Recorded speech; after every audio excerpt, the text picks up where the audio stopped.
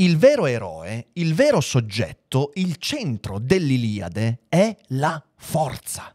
La forza adoperata dagli uomini, la forza che sottomette gli uomini, la forza davanti alla quale la carne degli uomini si ritrae.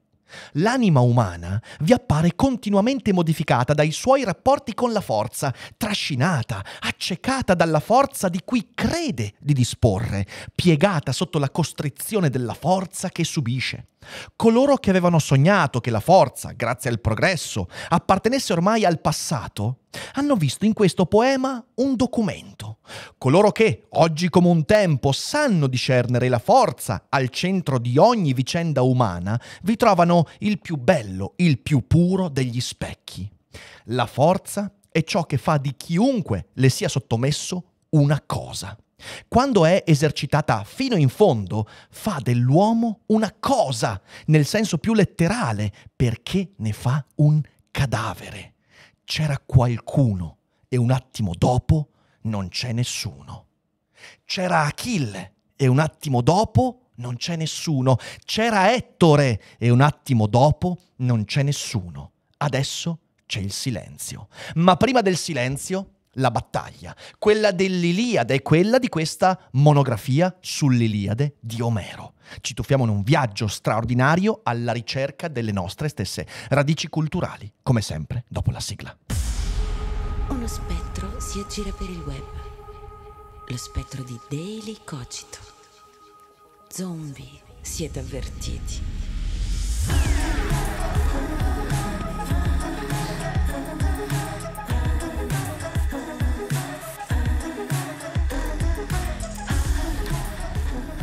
Bentrovati, bentrovati qui in questa nuova monografica che dà via al nuovo ciclo delle monografie. Monografie che adesso insieme allo special Cogito saranno settimanali e volevo partire con le radici. Le radici della nostra civiltà. Sì, perché l'Iliade è senza esagerare, il poema fondativo della civiltà ellenica e perciò la base della cultura occidentale. E se qualcuno vuole capire perché siamo fatti in un certo modo, perché pensiamo alle cose in un certo modo, come si è costituita la nostra cultura, beh, L'Iliade è un punto da cui non si può prescindere, è un poema di straordinaria importanza e racconta alcuni fatti storicamente avvenuti, anche se in passato sono stati anche messi in dubbio, ma sono storicamente avvenuti, circa nel X-XI secolo avanti Cristo e la stesura del poema si colloca invece fra il VII e l'VIII secolo avanti Cristo, quindi a distanza di circa 300-400 anni.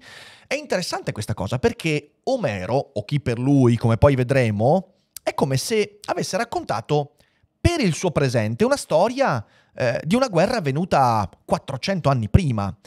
Insomma, è come se oggi qualcuno scrivesse un'opera ambientata in una guerra avvenuta nel 1600 e fra 2700 anni qualcuno starà ancora leggendo quest'opera. È una cosa notevole e potremmo chiederci ma perché l'Iliade viene ancora letta oggigiorno? Un poema così antico, così strano, così diverso da molti aspetti rispetto a quello che noi viviamo, un mondo veramente mitologico, per quanto poi storicamente reale. E perché in realtà dentro all'Iliade ci sono delle tracce della nostra esistenza.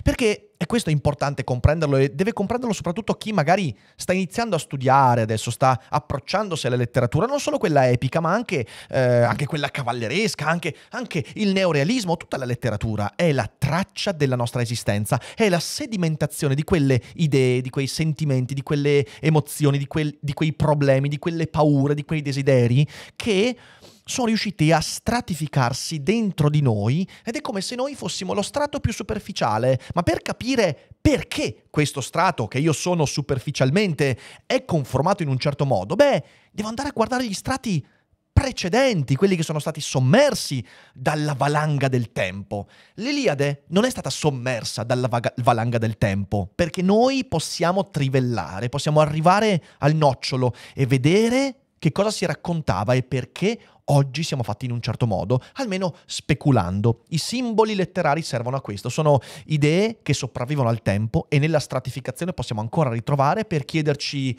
Ma cos'è che dice questo su di me? Leggere l'Iliade quindi non come documento storico, ma come traccia di quello che io sono. Questo è l'epica, questo è il simbolo, questo è il testo antico. C'è un'ipotesi, qualcuno potrebbe quindi dire, ma perché leggere, uh, per, perché qualcuno ha deciso 2700 anni fa di scrivere un libro su una guerra avvenuta 400 anni prima? Certo, perché è stata una guerra importante, certo è. L'ipotesi è che la guerra di Troia, che viene appunto raccontata nell'Iliade, la guerra di Ilio, sia la metafora di guerre contemporanee ad Omero. Infatti, se Omero è vissuto fra l'ottavo e il nono secolo, settimo, settimo, ottavo secolo più che altro, comunque con buona probabilità nell'ottavo secolo avanti Cristo, noi sappiamo che nella Grecia, ne, ne, ne, nella, nella, civiltà greca, lì ci furono guerre di conquista.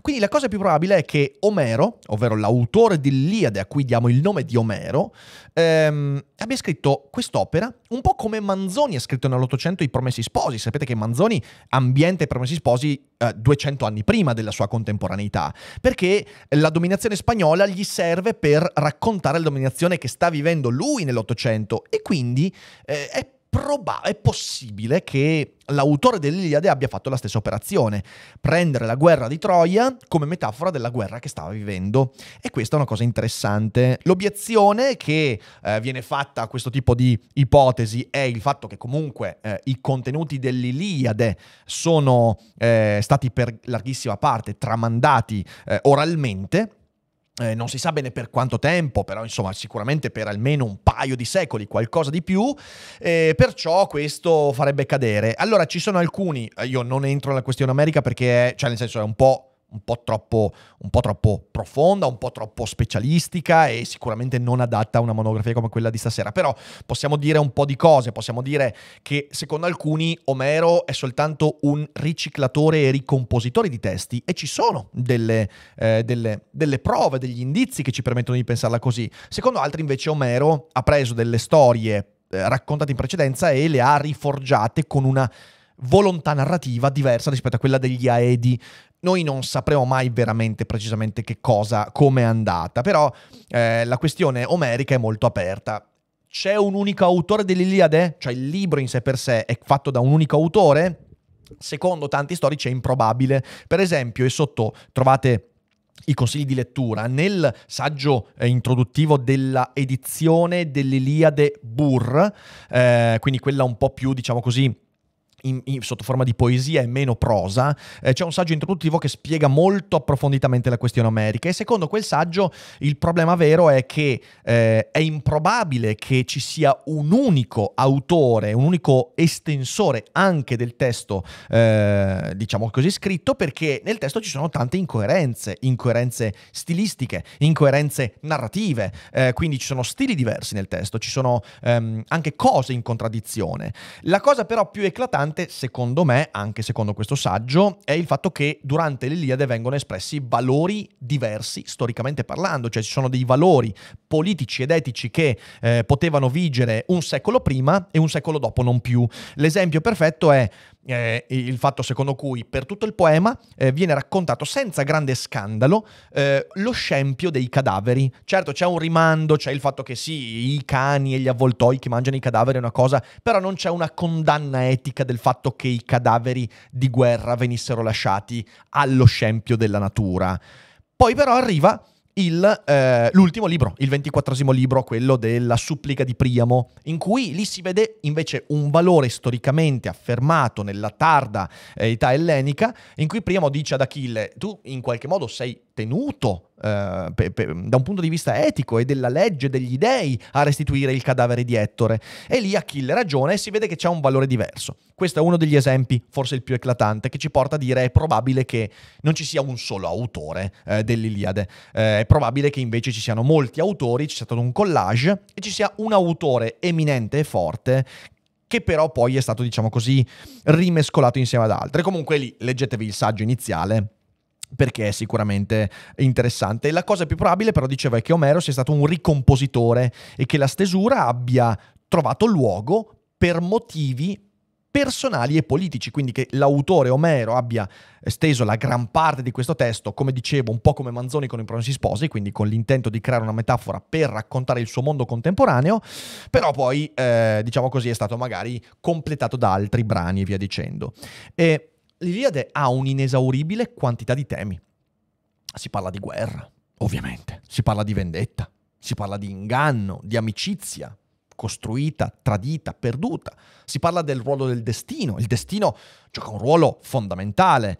Eh, si parla del rapporto con il divino, si parla di libertà, di sofferenza, di amore. Ah, peraltro, non ho detto, ma il brano con cui ho aperto la monografica è tratto da uno dei testi che utilizzo per la bibliografia di questa monografica ed è La rivelazione greca di Simone Weil, che ha scritto uno dei testi più belli sull'Iliade, straordinaria autrice. Ehm, che vedremo perché utilizzeremo alcuni suoi brani questa sera per capire meglio questo, questo libro. Quindi dicevo, eh, si parla di sofferenza, di amore. È un libro che in 2700 anni di storia non ha mai finito di parlarci di noi stessi.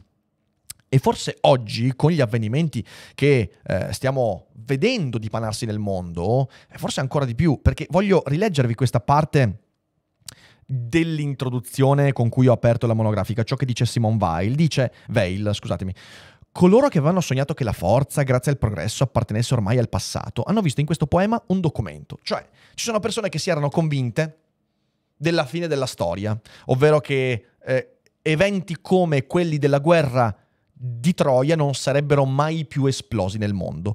Per queste persone l'Iliade è un documento storico che racconta una storia passata, ma ci sono altri che sanno discernere la forza al centro di ogni vicenda umana e vi trovano uno specchio Ecco, prima di tutto dobbiamo decidere che tipo di Iliade vogliamo. Siamo persone convinte che l'umanità in 2700 anni è cambiata tantissimo, che il mondo è radicalmente mutato e che guerre come quella di Troia non possono più avvenire. Allora sì, l'Iliade è un documento storico, mitico, mitologico, oppure siamo convinti che l'umanità non sia poi tanto cambiata? E io sinceramente ve lo dico, propendo per questa seconda strada, perché Nell'Iliade non abbiamo soltanto la guerra, intesa come la violenza, lo scatenarsi del caos, del disastro, della catastrofe, no. Abbiamo anche tutti gli elementi che dicevamo prima, il tradimento, l'angoscia, la sofferenza, la perdita, l'amicizia, e sono tutte cose che sono nostre. L'Iliade mi cattura ancora oggi quando la leggo e mi commuove, perché parla di me, perché parla di te. Non parla, non parla, veramente non parla di antichità, non parla di di mondi passati. Ed è questa la cosa veramente importante. E mi viene sempre in mente la citazione di Borges quando disse, noi raccontiamo sempre tre storie, una d'amore, una di viaggio e una di guerra. E mi sembra abbastanza chiaro che Borges non potesse che riferirsi in massima parte proprio a all'Iliade. E questa sera cerchiamo, come sempre, di sviscerarla un po' insieme. Quindi, benvenuti a tutti, benvenuti a tutti, sono, sono qui, insomma, per questa prima monografia del nuovo ciclo, nuovo corso. Vi ricordo che le monografie adesso saranno settimanali e, e ci lanciamo nell'Iliade. La prossima settimana ci sarà l'Odissea. Ovviamente, se seguite newsletter e tutto quanto, saprete anche il giorno effettivo in cui uscirà eh, la, ci sarà la live monografica sull'Odissea, però mi sembrava doveroso. Siamo in tantissimi, è bellissimo vedervi 600 persone già, insomma, il, di martedì sera qui alle, alle 21.36 eh, per, per, ascoltare una lezione, una monografica sull'Iliade, sono molto contento, però vedo ancora meno di 300 mi piace. Ricordatevi che se seguite la live è importante mettere un bel mi piace, mi raccomando. E ehm, io do già un'occhiata, vediamo se c'è già qualcosa nella chat, così prendiamo, prendiamo un po'. Individuo umano chiede in che modo in Omero risiedono le radici della cultura occidentale. È una delle risposte che cercheremo di dare durante questa monografia, anche se è una domanda molto vasta, molto difficile da eh, esaurire in, in un'oretta e mezza, però proveremo ad essere il più esaustivi possibile. Eh, Rick, farei citazione direttamente dall'opera? Assolutamente sì, ci mancherebbe. E ehm, comunque, chi non lo sapesse, la prima trascrizione scritta dei poemi omerici dovrebbe essere realizzata durante la tirannia di Ippio o Ipparco ad Atene. Assolutamente sì, grazie per l'informazione. Ehm, grande il mio Rick, fossi stato io avrei chiuso tutto e sarei andato a casa. Questo è perché è perché per chi sta ascoltando la differita, eh, io ho dovuto eh, sono dovuto partire tre volte con questa monografia perché la lettura iniziale mi si rompeva ogni volta, ma anche perché mi commuove molto quella lettura, cioè eh, Simone Weil è un'autrice che mi commuove, su di lei faremo presto una monografia ed è, ed è, una cosa, mm, è una cosa che mi muove, cioè nel senso sarà molto difficile stare seri e senza commozione in questa serata. Allora, allora, io ringrazio tutti voi per essere qua, grazie a chi sta abbonando, grazie Benedetta, grazie a Francesco, Riccardo e tutti quanti gli altri. Ehm, come sempre, prima di partire, due cose fondamentali. La prima è che la monografica ha l'intento di farvi leggere l'opera di riferimento, quindi alla fine di questa live andate a leggervela. Anche perché poi l'Iliade e l'Odissea, come vedrete, non sono opere così inaccessibili. Le traduzioni sono molto, molto efficaci, soprattutto quella Mondadori che trovate in descrizione, oppure quella Burr eh, che ha un comparto critico molto più ampio, eh, quindi veramente accessibili. Ci sono anche due altri libri che andremo a utilizzare, eh, il libro di Bespalov e quello di Veil, che ci permetteranno di orientarci un po' con delle letture. E quindi ricordatevi, l'intento della monografia non è quella di farvi passare un'oretta e mezza spegnendo il cervello, ma è quello di dirvi muovete il culo, andate a leggere, perché questa è la cosa importante. In descrizione trovate i libri che consiglio quindi per la bibliografia che ho utilizzato per questa monografica e prima di iniziare a tuffarci nel primo, primissimo capitolo di questa sera, voglio ringraziare lo sponsor di questa sera che ci permette di essere sicuri navigando nelle strane acque del web, grazie a NordVPN. Cosa? Cosa? Una VPN nel 2023? Ma che stiamo scherzando? Eh, in realtà avere una VPN nel 2023 è una cosa piuttosto importante. Migliora la sicurezza della tua navigazione impedendo ai malintenzionati là fuori di appropriarsi dei tuoi dati. Ti dà la possibilità di accedere a siti e contenuti non disponibili nel tuo paese. E poi protegge la tua privacy anche quando usi connessioni non protette. Insomma, avere una VPN è essenziale per navigare in tranquillità nel XXI secolo, ma allora perché NordVPN? Intanto perché è l'unica VPN che aderisce alla politica di no log, ovvero neanche la VPN ha accesso ai tuoi dati quando è attiva sulla tua navigazione perché ti dà accesso a costo zero anche ai servizi Threat Protection, ovvero un anti-spyware e anti-malware sempre attivi sul computer, e a NordPass, la cassaforte perfetta per le tue password. E poi perché NordVPN è partner di Daily Cogito da ormai molto tempo e io sono utente NordVPN da molti anni e non potrei più farne a meno. Grazie a Daily Cogito e al link che trovi in descrizione avrai accesso a NordVPN con uno sconto esclusivo e alcuni mesi gratis in più inclusi in un prezzo imperdibile. Inoltre il servizio prevede un rimborso completo in caso di disdetta entro 30 giorni, non c'è nessun motivo per non provarlo. Grazie a NordVPN e grazie a chi userà il nostro link per iniziare a usare questo fantastico servizio. E adesso torniamo alla trasmissione. E rieccoci qua, quindi perfettamente allineati con la nostra live e, e direi che possiamo partire eh, con il primo capitolo. Allora vi ricordo anche qua brevemente che la monografia, come sempre, è suddivisa in tre capitoli. E, ehm, io parto con il capitolo e poi alla fine del capitolo torno a leggere un po' la chat. Per le domande andate a mettere le vostre questioni nel box blu che c'è nella chat, perché se mettete le domande importanti nella chat normale rischiano di perdersi. Nel box blu invece è molto più facile che riusciremo ad andare a leggerle come si deve. Quindi mi raccomando. E partiamo con il primo capitolo di questa monografia. Fermi che devo mettere il uh, segnalibro, perfetto, così poi so dove è. E il titolo del primo capitolo è la forza che fa tutti piccoli. E come sempre partiamo con una citazione.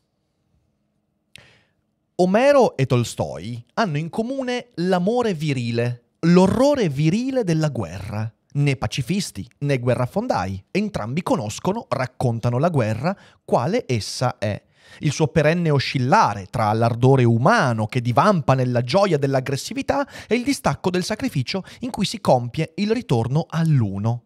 Invano cercheremmo nell'Iliade e in Guerra e Pace una condanna esplicita della guerra in quanto tale. La guerra la si fa, la si subisce, la si maledice o la si celebra, come il destino, non la si giudica. Ho voluto cominciare con questa citazione perché Il termine guerra è un termine molto fastidioso. Quando parliamo di guerra, noi, entità privilegiate della storia, che mai abbiamo vissuto una guerra, se non quella interiore, come dice Fight Club, eh, siamo propensi a giudicarla, a dire no, eh, la, guerra, la, guerra, la guerra è brutta, la guerra fa schifo. E eh, vabbè, ci mancherebbe, grazie tante. Siamo mica Carlo Rovelli qua, ok, sulla 7. Certo che fa schifo la guerra. Il punto è che affermare la distanza etica nei confronti della guerra ci impedisce di comprendere spesso il fenomeno della guerra. Perché la guerra, come vedo in chat avete anche scritto la parolina magica, è polemos. Non è la guerra intesa nel senso dell'evento storico, o meglio, certo, ma è soprattutto il polemos come concetto, ovvero l'evidenza secondo cui la vita umana è conflittuale, questo lo diceva perfettamente Eraclito, polemos di ogni cosa è sovrano e tutte le cose comanda, il polemos, quindi il conflitto.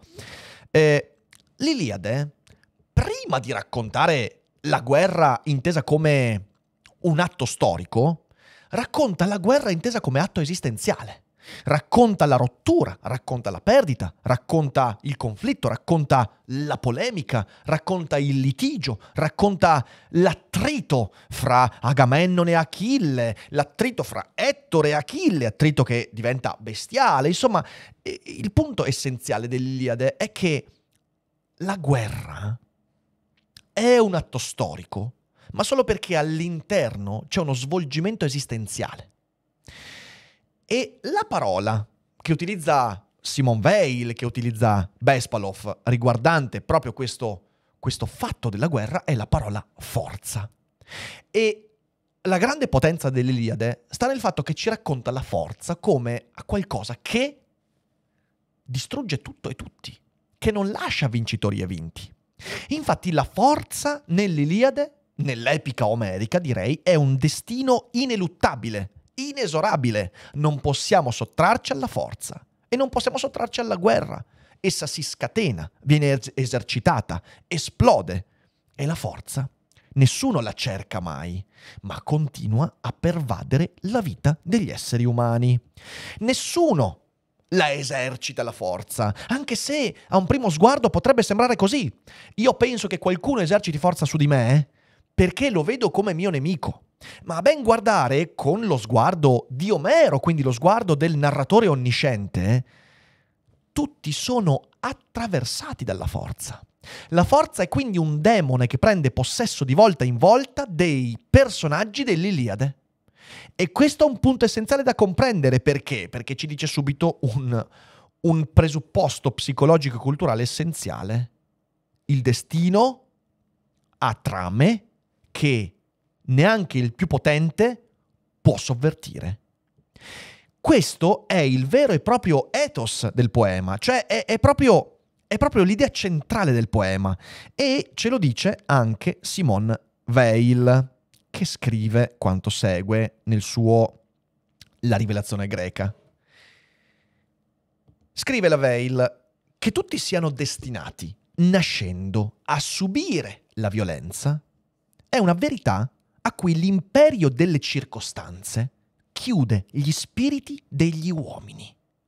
Il forte non è mai assolutamente forte, né il debole assolutamente debole, ma entrambi lo ignorano. Non si credono della stessa specie. Il debole non si considera il simile del forte, né è considerato tale. Chi possiede la forza si muove in un ambiente privo di resistenza, senza che nulla nella materia umana attorno a lui sia di natura tale da suscitare tra l'impulso e l'atto quel breve intervallo in cui risiede il pensiero. Dove il pensiero non ha posto, non ne hanno né la giustizia nella prudenza. Fermiamoci qui un secondo, perché poi la lettura continua, ma voglio commentare questo. Prima dicevo, certo che la guerra è brutta, ma non facciamo i Carlo Rovelli, perché condannare la guerra, condannare la forza, è un atto che si può fare quando si è fuori dalla forza, fuori dalla guerra. Perché quello che dice la Val qui è fondamentale dove il pensiero non ha posto, non ne hanno né la giustizia né la prudenza. Nessuno che sia coinvolto direttamente nell'atto della forza, nella possessione demoniaca della forza e della guerra, che nell'Iliade è così pervasiva, può fermarsi a pensare e giudicare l'atto che ha compiuto, la guerra che ha scatenato, il conflitto che ha permeato le sue carni. Il giudizio è nell'Iliade assente nel momento in cui la forza pervade le gesta degli, degli uomini, dei personaggi. Questa è una grande intuizione, ma andiamo avanti. Per questo gli uomini armati agiscono duramente e follemente. La loro arma affonda in un nemico disarmato che ha le loro ginocchia. Trionfano di un moribondo descrivendogli gli oltraggi che subirà il suo corpo. Achille sgozza 12 adolescenti troiani sul rogo di Patroclo, con la stessa naturalezza con la quale noi recidiamo fiori per una tomba. Mentre usano il loro potere, non sospettano mai che le conseguenze dei loro atti li faranno piegare a loro volta. Quando con una parola si può far tacere, tremare, obbedire un vegliardo, si riflette forse che le maledizioni di un sacerdote hanno importanza agli occhi degli auguri?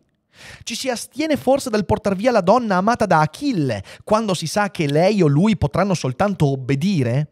Quando Achille gioisce nel vedere in fuga i miserabili greci, può forse pensare che questa fuga, che durerà e finirà a suo piacimento, costerà la vita al suo amico e a lui stesso? Così coloro a cui è stata concessa in sorte la forza periscono per avervi fatto, fatto troppo affidamento. La forza è una possessione. Possiede i personaggi, possiede i re, possiede persino gli dei e la forza si manifesta.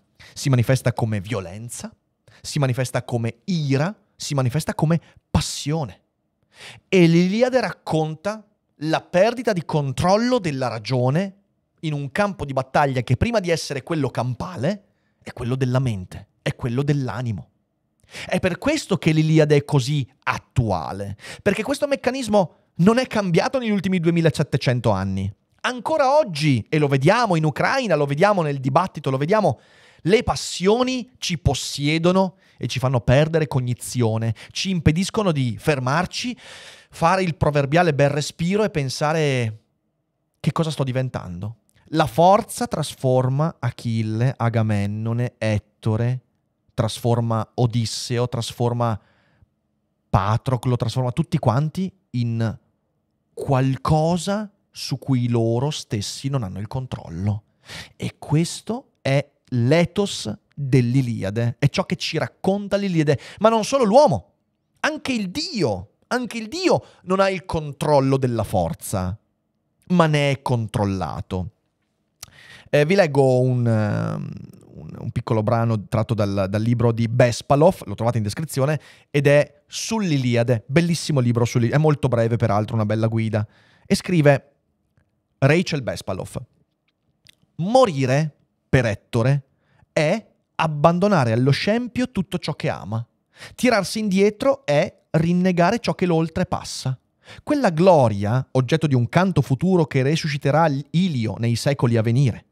Davanti alle mura, dove si accinge a incontrare Achille, turbato da presentimenti di sconfitta, dalle suppliche di Priamo e di Ecuba, Ettore ha una estrema esitazione.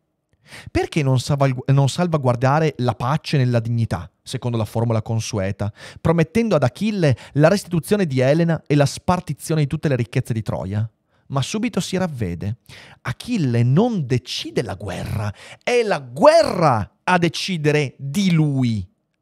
Non si può ammansirlo con promesse, placarlo con ragionamenti, piegarlo a sentimenti di umanità, più di quanto si possa fare con un ciclone. Eccolo, questo, questa è una frase e, e, e eccellente e essenziale per comprendere questo spirito che permea tutta l'Iliade. Achille non decide la guerra, è la guerra a decidere di lui, perché l'ira è un demone che lo possiede, un demone caotico che manda all'aria tutto, che impedisce anche il ragionamento. Non si può far ragionare Achille, non si può dirgli, ascolta, vabbè, facciamo così, fermiamoci, ci spartiamo le ricchezze di Troia, io ti restituisco Elena, a posto. Non si può, soprattutto dopo la morte di Patroclo che aumenta a dismisura l'ira di Achille, che lì non cerca più soltanto la vittoria, ma la vendetta. E quindi Ettore, dopo quella scena che leggeremo anche, in cui comincia a scappare intorno a Troia, si ferma e dice: Ma cosa sto facendo? Io come posso permettermi di far ragionare? Perché per quello che diceva Simon Weil, eh, Weil, scusate, sbaglio sempre la, la, la, pronuncia perché il mio professore di teoretica quella volta la chiamava Weil, ma è Weil. Simon Weil lo dice perché in realtà non c'è possibilità di decidere di queste cose perché la forza è il protagonista e quando la forza si scatena non c'è più spazio per il pensiero, non c'è il ragionamento, non c'è l'idea di giustizia. Sarebbe giusto arrendersi, ma non c'è più lo spazio per la giustizia. Mi piacerebbe un sacco che oggi tanti bellissimi patrioti che nella, nel discorso della guerra in Ucraina parlano di diplomazia, comunicazione, distensione, pace, rileggessero questa, questa, questa, questa grandissima opera che ti dice esattamente quello, che se, se, Ettore, se Ettore si ferma e dice, caro Achille, eh, ascolta, veniamo incontro alle tue condizioni, ti lasciamo, non solo verrebbe ucciso lui, ma Troia verrebbe comunque distrutta e resa al suolo, perché ormai le cose sono fatte così aspre, così inaccettabili, così inesorabili. La parola inesorabile è la parola dell'Iliade, così inevitabili che non si può che accettare la lotta. Persino una persona ragionevole, una persona di buon cuore, che ama la sua famiglia come Ettore, una persona che vuole mantenere l'ordine, che è spaventato dal caos e dalla morte come Ettore, non può fermarsi e dire, ascolta, mi arrendo, non c'è resa di fronte al ciclone. Questa è la tragedia dell'Iliade. E allora potremmo star lì a chiederci, ma quando è che è cominciato questo ciclone? Eh, quando è cominciato? È cominciato con eh, il rapimento, eh, con il, il, ratto di Elena, è cominciato con il litigio fra Achille e Agamennone, è cominciato con la morte di Patroclo, è cominciato magari secoli, millenni fa. Beh, Omero da buon greco dice, ma non è mai cominciato. È sempre stato così, ecco il destino. E che cos'è la forza se non il braccio armato del destino? Ovviamente il pensiero ellenico è un pensiero di ciclicità, di eterno ritorno. Eh, ne parla Nietzsche perfettamente nei, nelle sue opere in cui parla dell'eterno ritorno. Non c'è mai stato un momento in cui si potesse fermare questo ciclo devastante, tragico della storia. Non c'è mai stata la libertà di dire fermiamo tutto, facciamo un bel respiro e viviamo in pace. Non c'è mai stato. Le cose si sono scatenate ben prima che potessero essere capite. Questo è la vera, la vera tragedia dell'Iliade. E tutto ciò porta all'incontrollabile ira di Achille. E allora andiamo a leggerla, questa incontrollabile ira, questa ira che in realtà è proprio la, la, la, la totale incapacità di controllare alcunché. A un certo punto Agamennone dopo l'offesa per eh, la, la, la, il rapimento, diciamo così, anzi l'imposizione di avere l'ancella di Achille, la schiava di Achille, prova a mandare dei... Eh, dei... Eh, io, eh, piano, ragazzi, scusatemi, io non spenderò troppe parole per la trama dell'Iliade, che uno, uno, può prendersi qualsiasi pagina Wikipedia e sapere la storia. Non sto qua a perdere tempo a dirvi, eh, nell'Iliade succede questo, questo, questo, questo, questo. Cioè, nel senso, mi sembra proprio una perdita di tempo, quindi eh, recuperate se non conoscete la trama dell'Iliade e poi tornate ad ascoltare. Comunque, a un certo punto Agamennone, eh, vista l'ira di Achille, manda un'ambasciata eh, in cui c'è anche Odisseo e via dicendo per porgere dei doni ad Achille e metterlo in pace, ma lì ci si rende conto che Achille è al di fuori di qualsiasi pacificazione, di già, e risponde, non conta nulla per me. Odio i suoi doni, anche se mi desse dieci, venti volte più di quanto ora possiede e di quanto potrebbe avere ancora, le ricchezze di Orcomeno e di Tebe d'Egitto, dove ogni casa ha ingenti tesori, Tebe dalle cento porte, per dove passano duecento guerrieri con carri e cavalli, anche se mi offrisse tanti doni quanti sono i grani di polvere o sabbia, neanche così persuaderà il mio cuore Agamennone, prima di aver interamente pagato l'amara offesa. E non sposerò la figlia di Agamennone, figlio di Atreo, neanche se fosse bella come la bionda Afrodite, o piena d'ingegno come Atena, dagli occhi lucenti. Non voglio sposarla. Un altro fra i Danai si scelga, uno degno di lui, uno più potente di me. Se gli dei mi salvano, se a casa potrò fare ritorno, sarà Peleo a cercarmi una sposa. In tutta l'Ellade e Aftia vi sono molte giovani Achee, figlie di principi che difendono le loro città, e fra loro mi prenderò la sposa che voglio. È là che il cuore mi spinge, a godere di beni raccolti dal vecchio Peleo dopo aver scelto una sposa legittima, una degna compagna. Niente per me vale la vita non i tesori che la città di Ilio fiorente possedeva, prima in tempo di pace, prima che giungessero i figli dei Danai, non le ricchezze che dietro la soglia di pietra racchiude il, tempo, il tempio di Apollo, signore dei dardi, a Pito rocciosa, si possono rubare buoi e pecore pingui, si possono acquistare tripodi e cavalli dalle fulve criniere, ma la vita dell'uomo non ritorna indietro, non si può rapire o riprendere quando ha passato la barriera dei denti. Mia madre, tetida ai piedi d'argento, mi parla di due destini che mi conducono a morte. Se resto qui a battermi intorno alle mura di Troia non farò più ritorno, ma eterna sarà la mia gloria. Se invece torno a casa, nella patria terra, per me non vi sarà gloria, ma avrò lunga vita. Non mi raggiungerà presto il destino di morte. Ed anche a tutti gli altri io vorrei dire Prendete il mare, tornate a casa, mai vedrete la fine dell'alta città di Ilio. Su di essa Zeus dalla voce tonante ha steso la mano. I guerrieri hanno ripreso coraggio. Ora voi ritornate, riferite ai principi Achei il mio messaggio. È compito questo dei capi, affinché meditino un altro piano, un piano migliore per salvare le navi e con le navi tutto l'esercito acheo. A nulla serve quello che hanno pensato, cui hanno pensato. Io persisto nell'ira. Fenice rimanga a dormire con me. Domani potrà seguirmi sulle navi in patria, se lo vorrà. Non lo porterò via con la forza. Questo brano di una potenza immane, già, già soltanto in queste righe ci sono talmente tante cose da dire. C'è appunto l'ira che si manifesta come irrimediabile. L'ira di Achille non sente ragioni. Non sente ragioni nei confronti di un alleato, Agamennone. Pensate a come potrebbe mai sentire ragione poi nei confronti del nemico, dell'ostis, Ettore. È irrefrenabile, è un ciclone, come dice Bespalov. Non può essere portato alla ragione.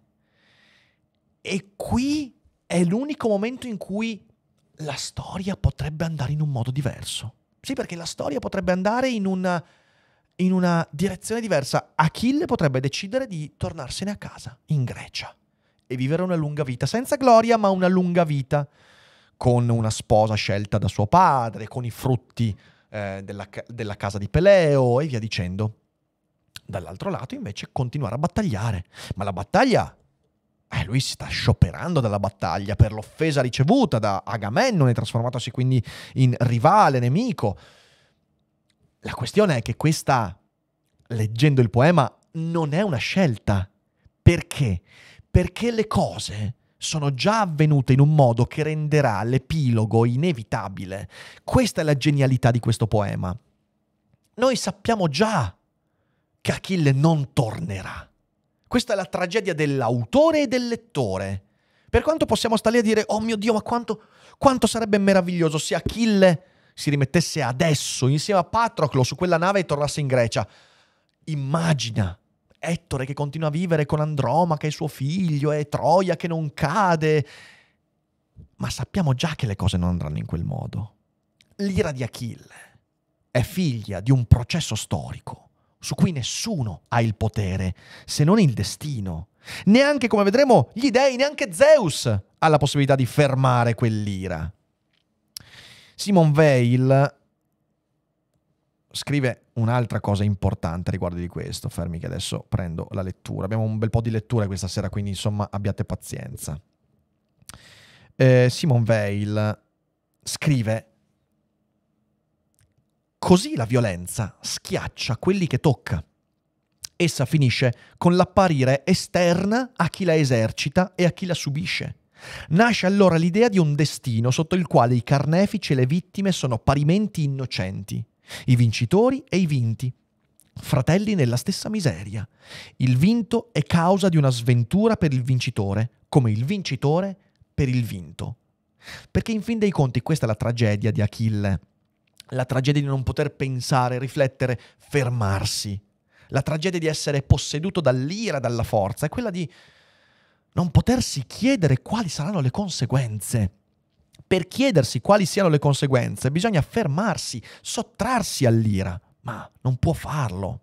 E sulla nota del né vinti né vincitori, anche Bespalov scrive una cosa molto bella. Scrive Achille è bello, Ettore è bello perché la forza è bella.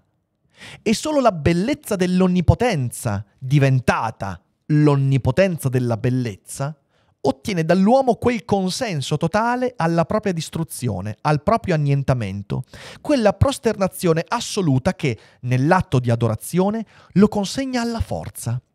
Nell'Iliade la forza appare dunque come la suprema realtà e insieme la suprema illusione dell'esistenza. In essa Omero divinizza la sovrabbondanza di vita che prorompe nel disprezzo della morte, nell'estasi del sacrificio, e al tempo stesso denuncia il fato che la muta in inerzia, in inerzia. L'impulso cieco che spinge la forza fino all'apice del proprio sviluppo, fino all'annientamento di se stessa e dei valori che ha generato. Anche questo è un punto importante. La forza è bella.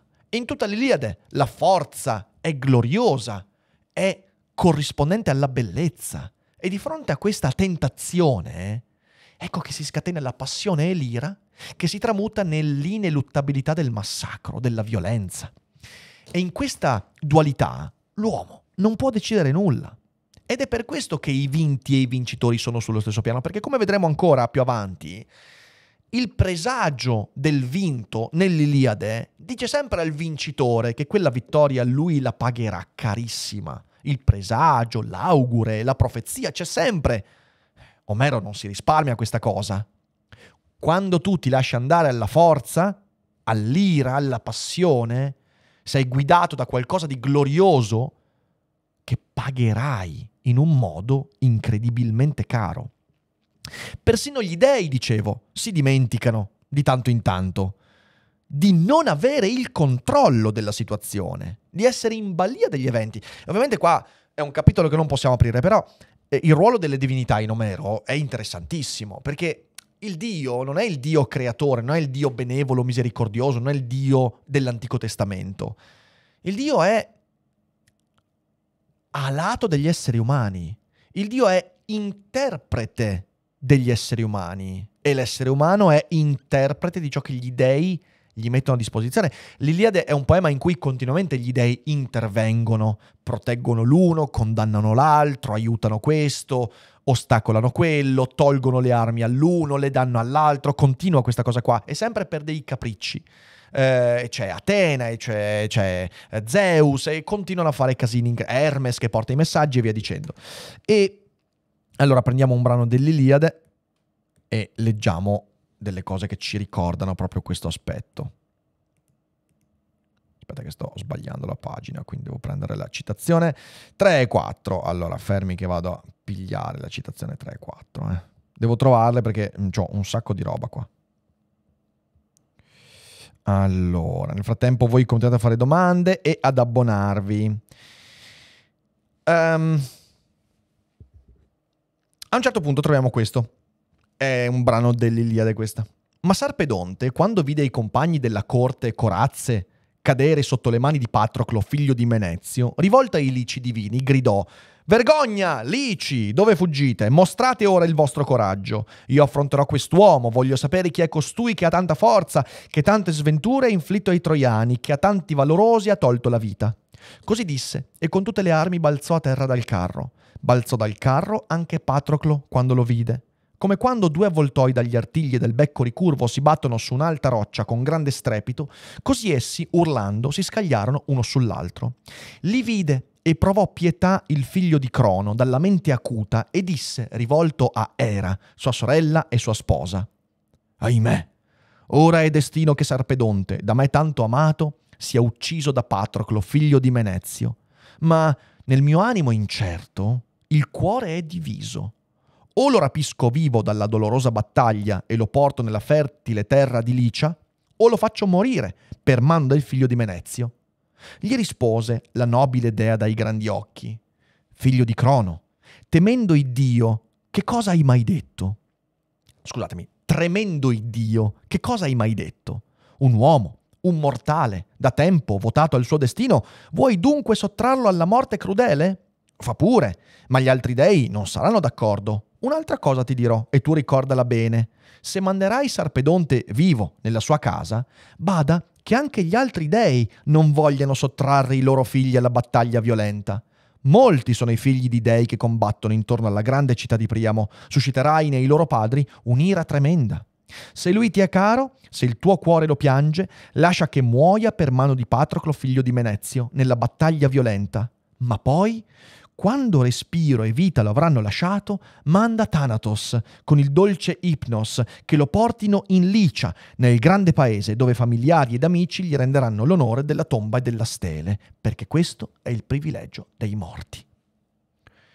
È un pezzo bellissimo questo, è un pezzo bellissimo il mio cuore è diviso, il mio animo incerto. Questo dice Zeus, il padre degli dei. Capiamo che la visione degli dei eh, che Omero ci porta non è la visione di divinità infallibili, onnipotenti, ma è l'immagine di esseri umani su uno scalino superiore, che non possono sottrarsi al destino, cadrebbero nello stesso fango degli esseri umani. La frase che poi era dà a Zeus fa capire qual è la differenza fra gli esseri umani e gli dei. Gli dei sono impotenti di fronte al destino, tanto quanto gli esseri umani, solo che lo capiscono. È come se avessero una visione ulteriore rispetto agli esseri umani, mentre Achille Ettore non, non hanno, per quanto sia Achille semidivino, non hanno quella vista. Ma il cuore incerto, l'animo diviso, ce l'hanno tutti.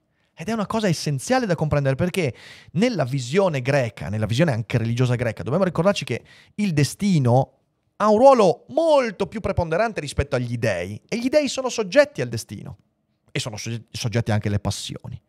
Perciò, in questo senso, in che modo potremmo ancora di nuovo pensare di avere vinti o vincitori? C'è un'altra citazione che volevo leggervi, sempre inerente a questo argomento, dall'Iliade, ed è Zeus che è spaventato di fronte all'ira di Achille. Scrive Omero, l'ira di Achille per la morte di Patroclo, che si scatena dal libro ventesimo al ventiduesimo. Ah, scusatemi, no, questo non è. Questo, giusto, questo è tratto dal saggio introduttivo all'edizione Mondadori dell'Iliade, scusatemi, ok. Eh, che è di dopo ve lo trovo. L'ira di Achille per la morte di Patroclo, che si scatena dal libro XX al XXII, è furia selvaggia, contraria a ogni norma e a ogni codice, e sfocia in una trasgressione eccezionale, lo scempio del cadavere di Ettore. È un'ira che contagia l'intero universo, precipitandolo nel caos. Mentre l'eroe compie le sue stragi feroci, gli dei combattono fra di loro, un dio fiume lotta col dio fuoco. Tutto sembra travolto in un unico immenso furore, privo di senso e di scopo. Zeus teme che quest'ira terribile per l'amico possa sovvertire il corso del, de- del, destino stesso e alla fine interviene per opporre alla follia dell'eroe l'unico mezzo che possa neutralizzarla, l'ira degli stessi dei. Gli dei sono indignati e più di tutti gli immortali io stesso, perché Achille nella sua follia tiene Ettore presso le navi. Questo è ciò che dice Zeus.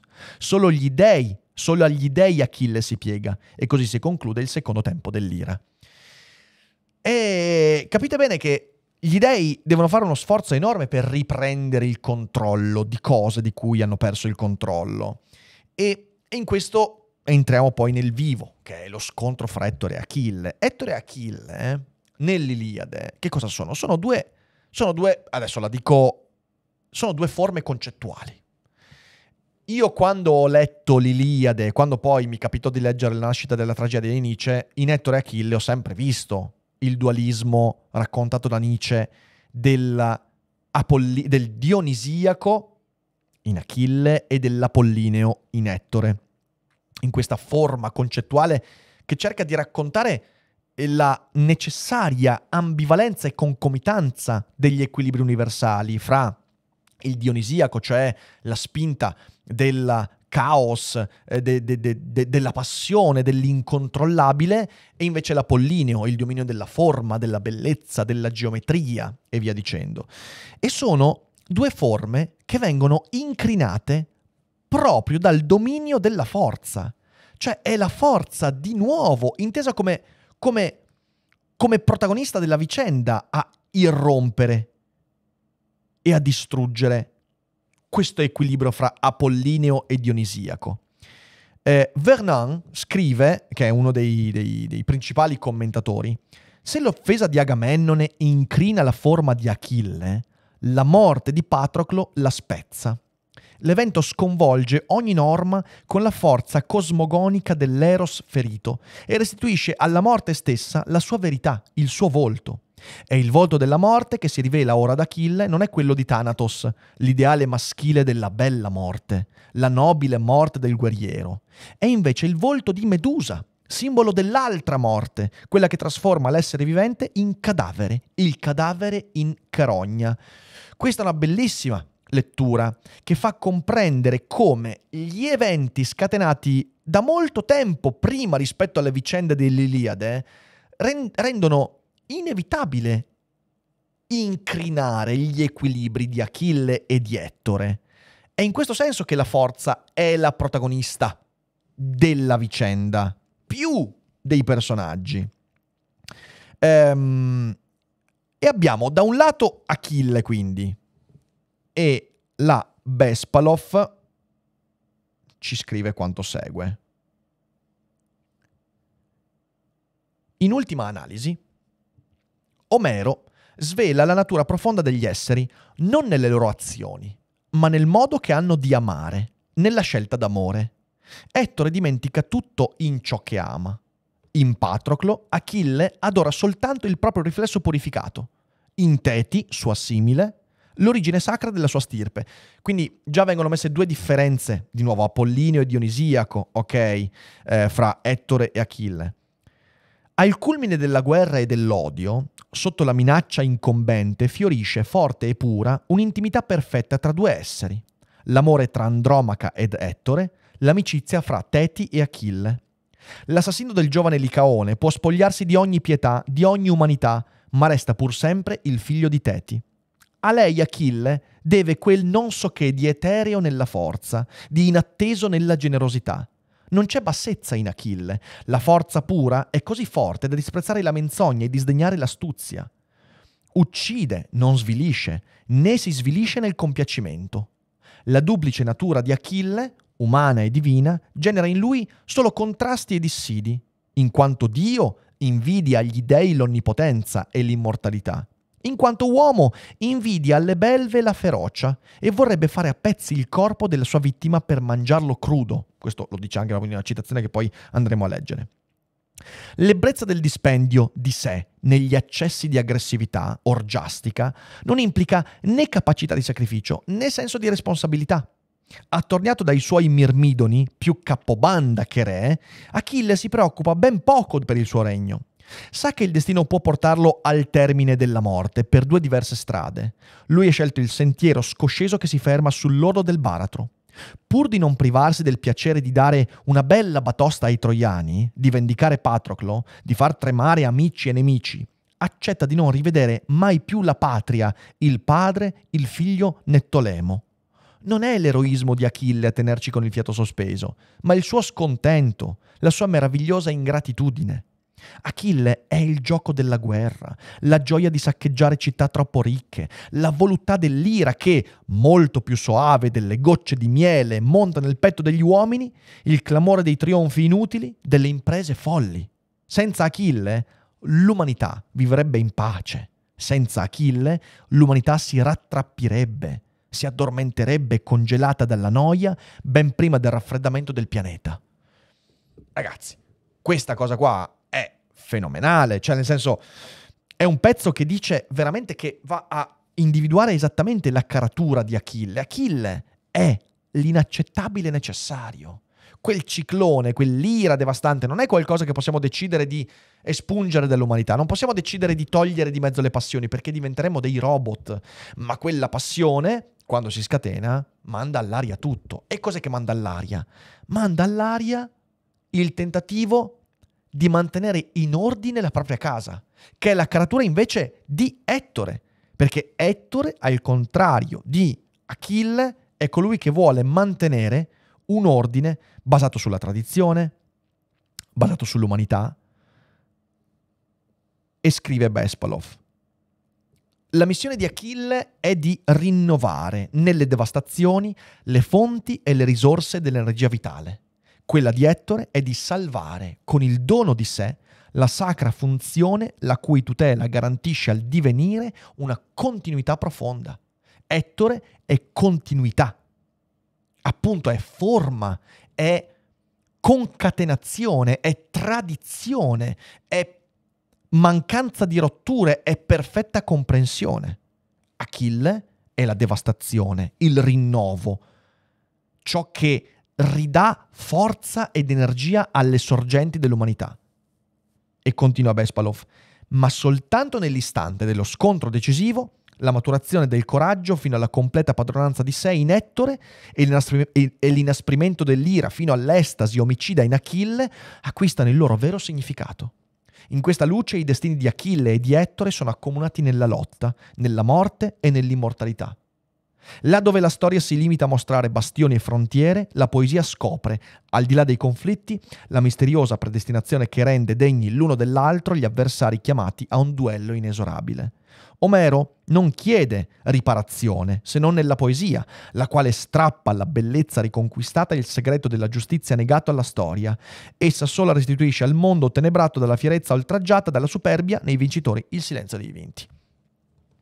Insomma, è, è un qualcosa di estremamente nostro, molto nostro.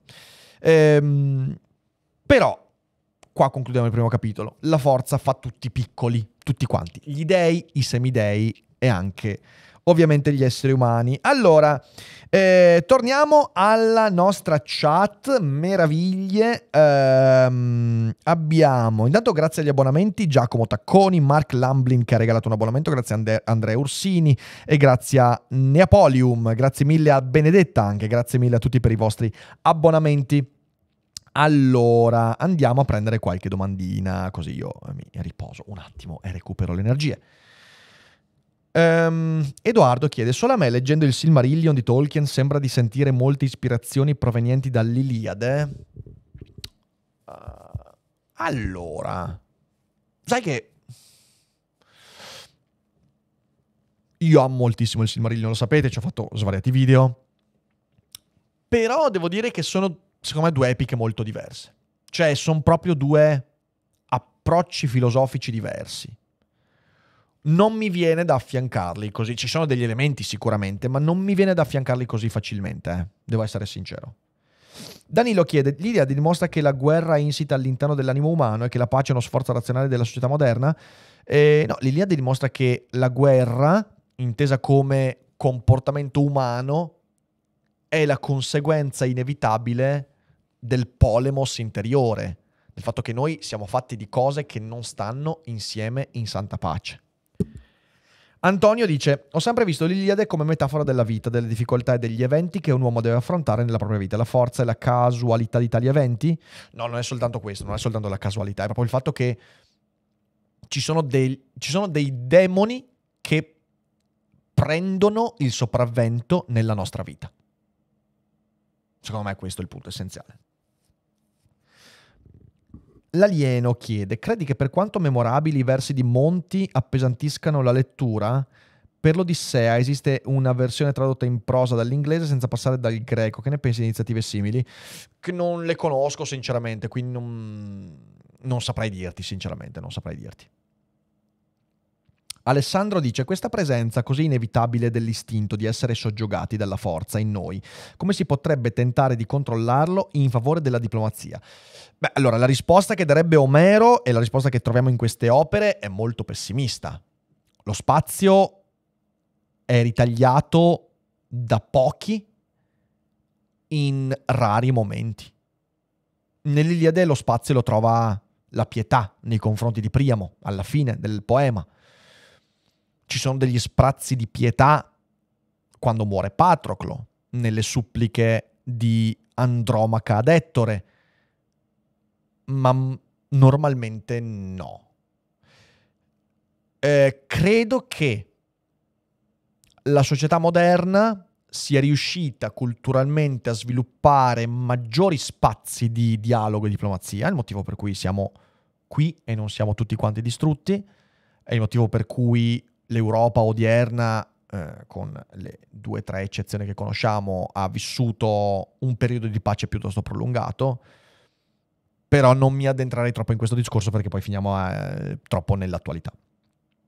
Alejandro chiede, secondo te la traduzione può portare alla perdita di concetti intraducibili? Mi viene in mente eh, di Kainosnie, di, di Kaiosnie, eh, tradotta con giustizia, di che, se, sebbene i due termini abbiano significati un po' differenti, ma sicuramente così sono tanti. Io poi lo, lo dico, eh, io non, non, ho studiato greco, quindi non, non, sono adeguato a dare un giudizio chiaro in questo senso.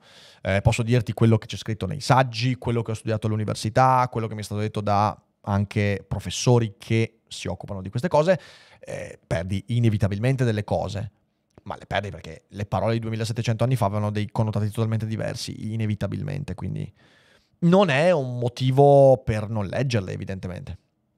Mr. Bock chiede con quale personaggio faresti una delle tue cogitate sul modello della parola Don Chisciotte e su quali temi?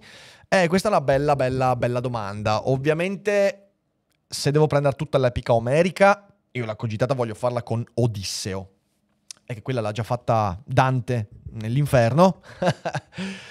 Quindi sicuramente con Achille perché Achille è l'influencer, l'influencer di successo eh, che involontariamente mostra la sua appartenenza inesorabile al genere umano. Allora, detto questo, io direi che possiamo anche iniziare con il secondo capitolo bevo un goccio d'acqua e poi partiamo ragazzi. Questa, come avete capito, probabilmente sarà un po' più lunga delle altre. Ma ci provo ad essere sintetico, ci provo. È che mentre leggo, mentre prendo gli appunti, mi vengono in mente sempre 10.000 cose in più, quindi devo frenarmi sempre da non far durare 4 ore. Allora, secondo capitolo, L'essere crudeli ci trasforma. E partiamo ancora con una lettura tratta da Simone Weil. Quando ci si è dovuti mutilare di ogni aspirazione a vivere per rispettare la vita degli altri, occorre uno sforzo di generosità da spezzare il cuore. Tra i guerrieri di Omero, nessuno si può reputare capace di un tale sforzo, se non forse colui che in certo modo si trova al centro del poema, Patroclo, che seppe essere dolce con tutti e che nell'Iliade non commette niente di brutale o di crudele. Ma quanti uomini conosciamo, in molte migliaia d'anni di storia, che abbiano dato prova di una tale generosità così divina? A stento se ne possono nominare due o tre. Mancando di tale generosità, il soldato vincitore è come un flagello della natura, posseduto dalla guerra, è diventato una cosa al pari dello schiavo, sebbene in tutt'altra maniera, e su di lui, come sulla materia, le parole sono senza potere. L'uno e l'altro, a contatto con la forza, ne subiscono l'effetto infallibile, che rende quelli che tocca o muti o sordi. Tale è la natura della forza.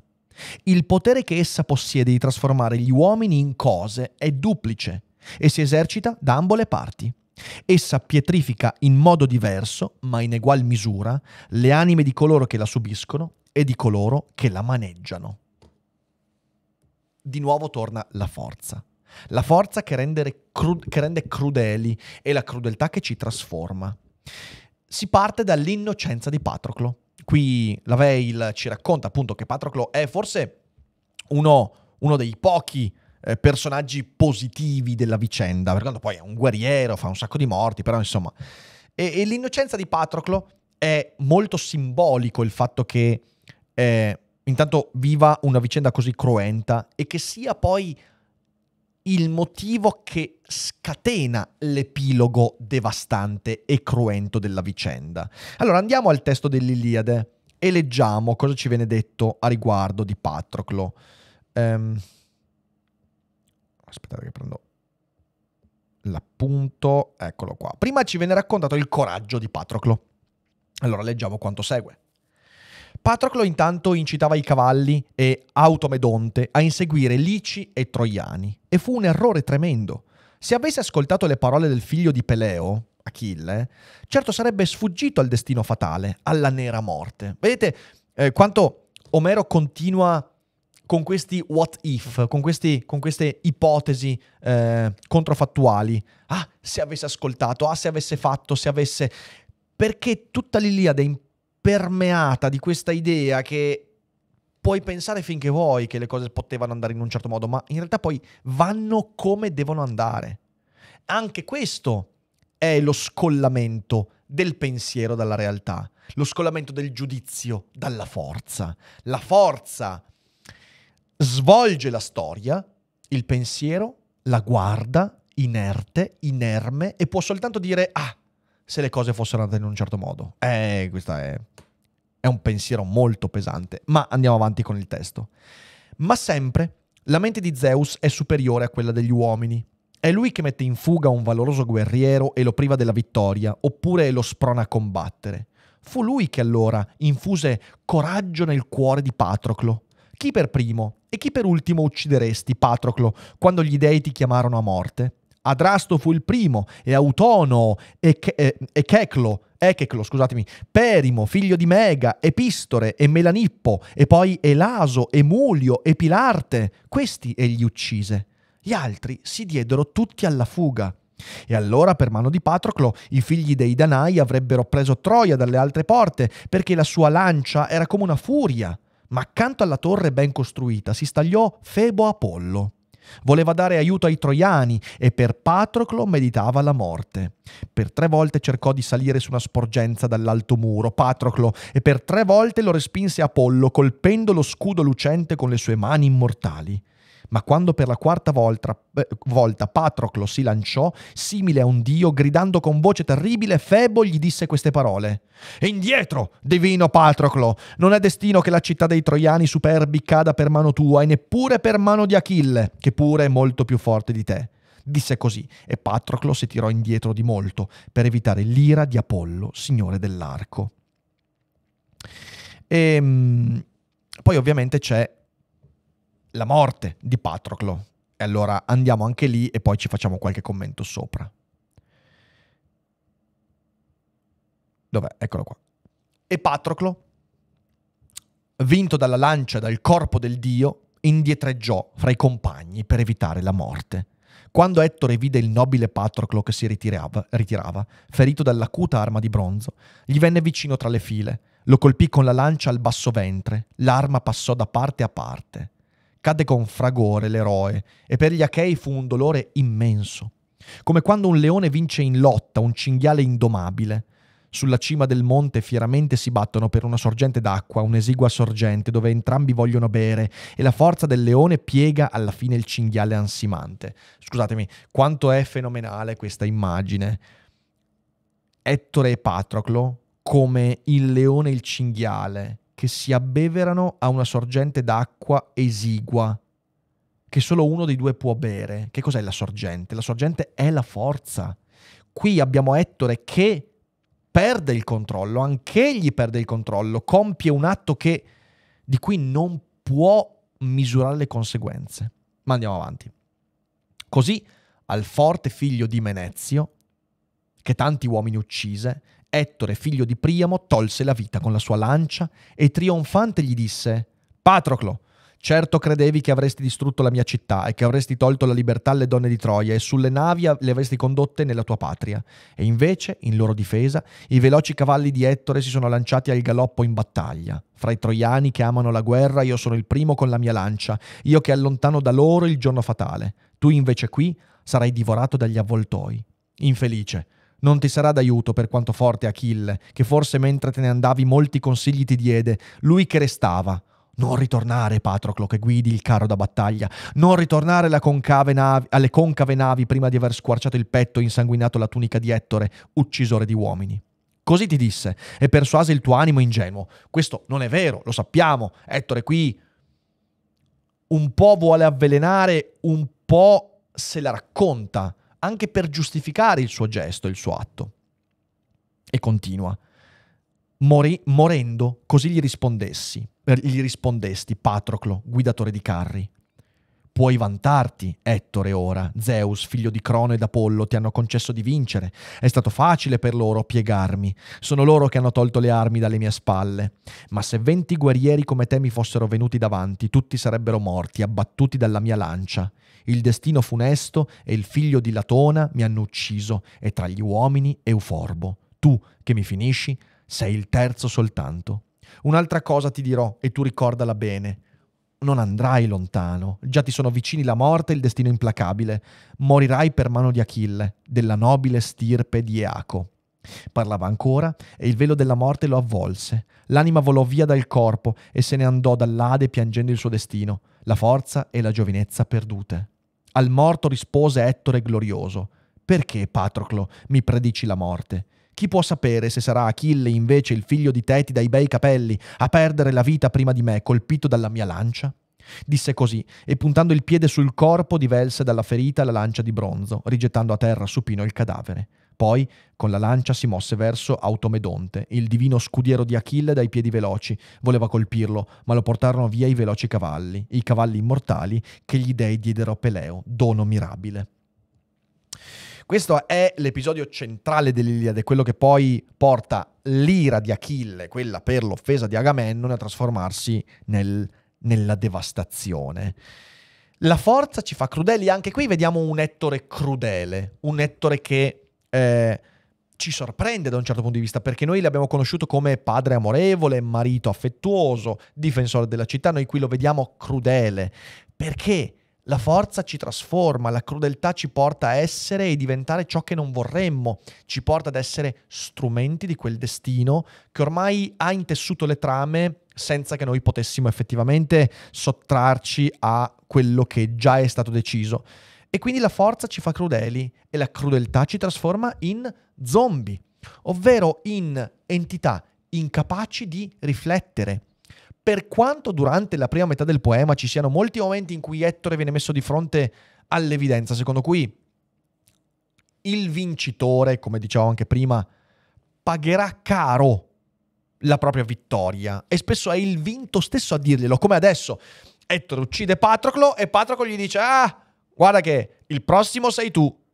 Ed Ettore pur conoscendo questa regola ineluttabile che nell'Iliade continua a svolgersi e mostrarsi, è talmente cieco perché pervaso dalla forza che gli diceva perché mi predici la morte? È cieco al proprio destino, anche se lui conosce perfettamente il suo destino. E se l'ha ripetuto tante volte, ma la forza lo trasforma in uno zombie, cioè in un'entità incapace di riflettere, di giudicare in quel momento. La violenza non dà spazio al pensiero, e l'Iliade racconta in fin dei conti la banalità del male, così come narrata da Anna Arendt, cioè l'idea che quando obbedisci alla forza, obbedisci alla violenza, obbedisci alla guerra, a un ordine, tu di fatto stai togliendoti di dosso la capacità di giudicare quell'ordine. Ed ecco dove sta il, quello che la Arendt definirà il male. Sta nel fatto di lasciarsi trasportare da una forza che scatena i demoni interiori e che è totalmente incontrollabile. Il caos portato da Achille, in questo caso, diventa il caos portato da Ettore. È Ettore che trafigge Patroclo e scatena tutto il proseguo della vicenda. Il caos portato da Achille è, e che qui è incarnato da Ettore, è la bestialità immediata che obbedisce all'istinto. L'istinto è una delle forme della forza.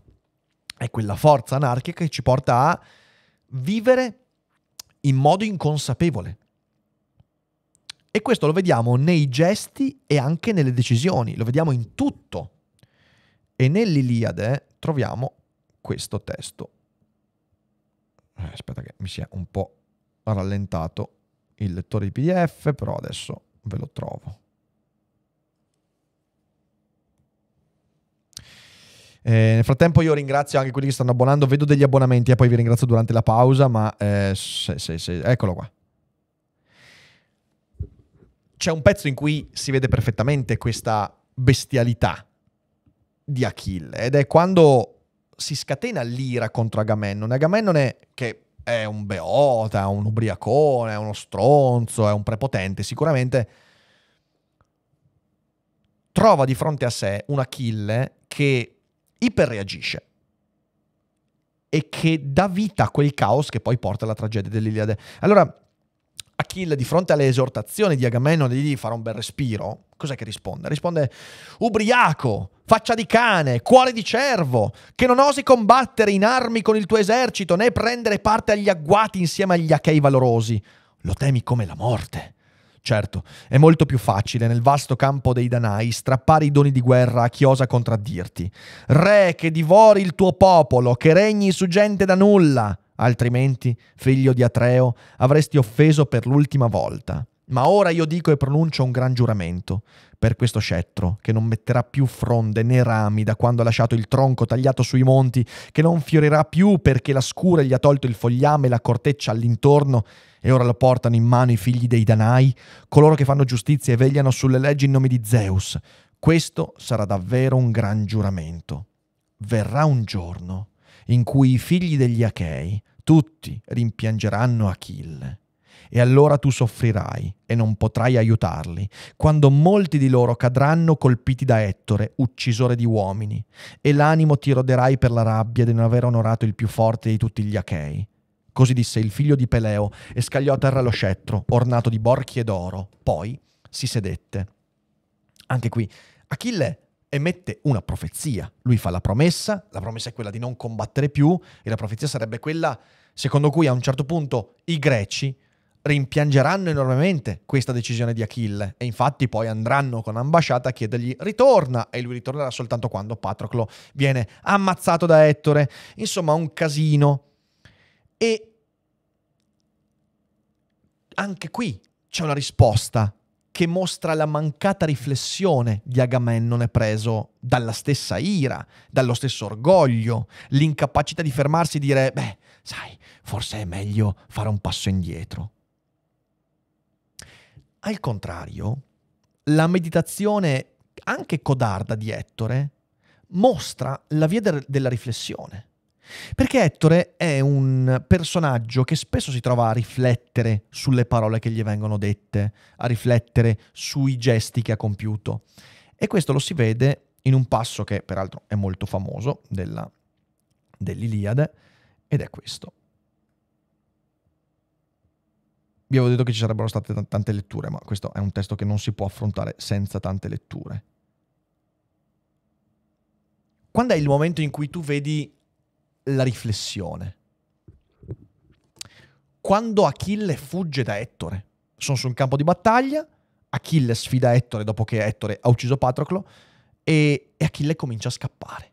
E tu dici, oh cazzo, ma non è un eroe, è un vigliacco. Certo, perché è umano. Allora scrive Omero, tutti gli dei stavano a guardare e tra di essi incominciò a parlare il padre degli dei e degli uomini. Ahimè, che cosa vedo? Inseguono intorno alle mura un uomo che mi è caro. Il mio cuore piange per Ettore, che sulle vette dell'Ida ricco di forre o sulla rocca della città ha bruciato per me tante cosce di buoi.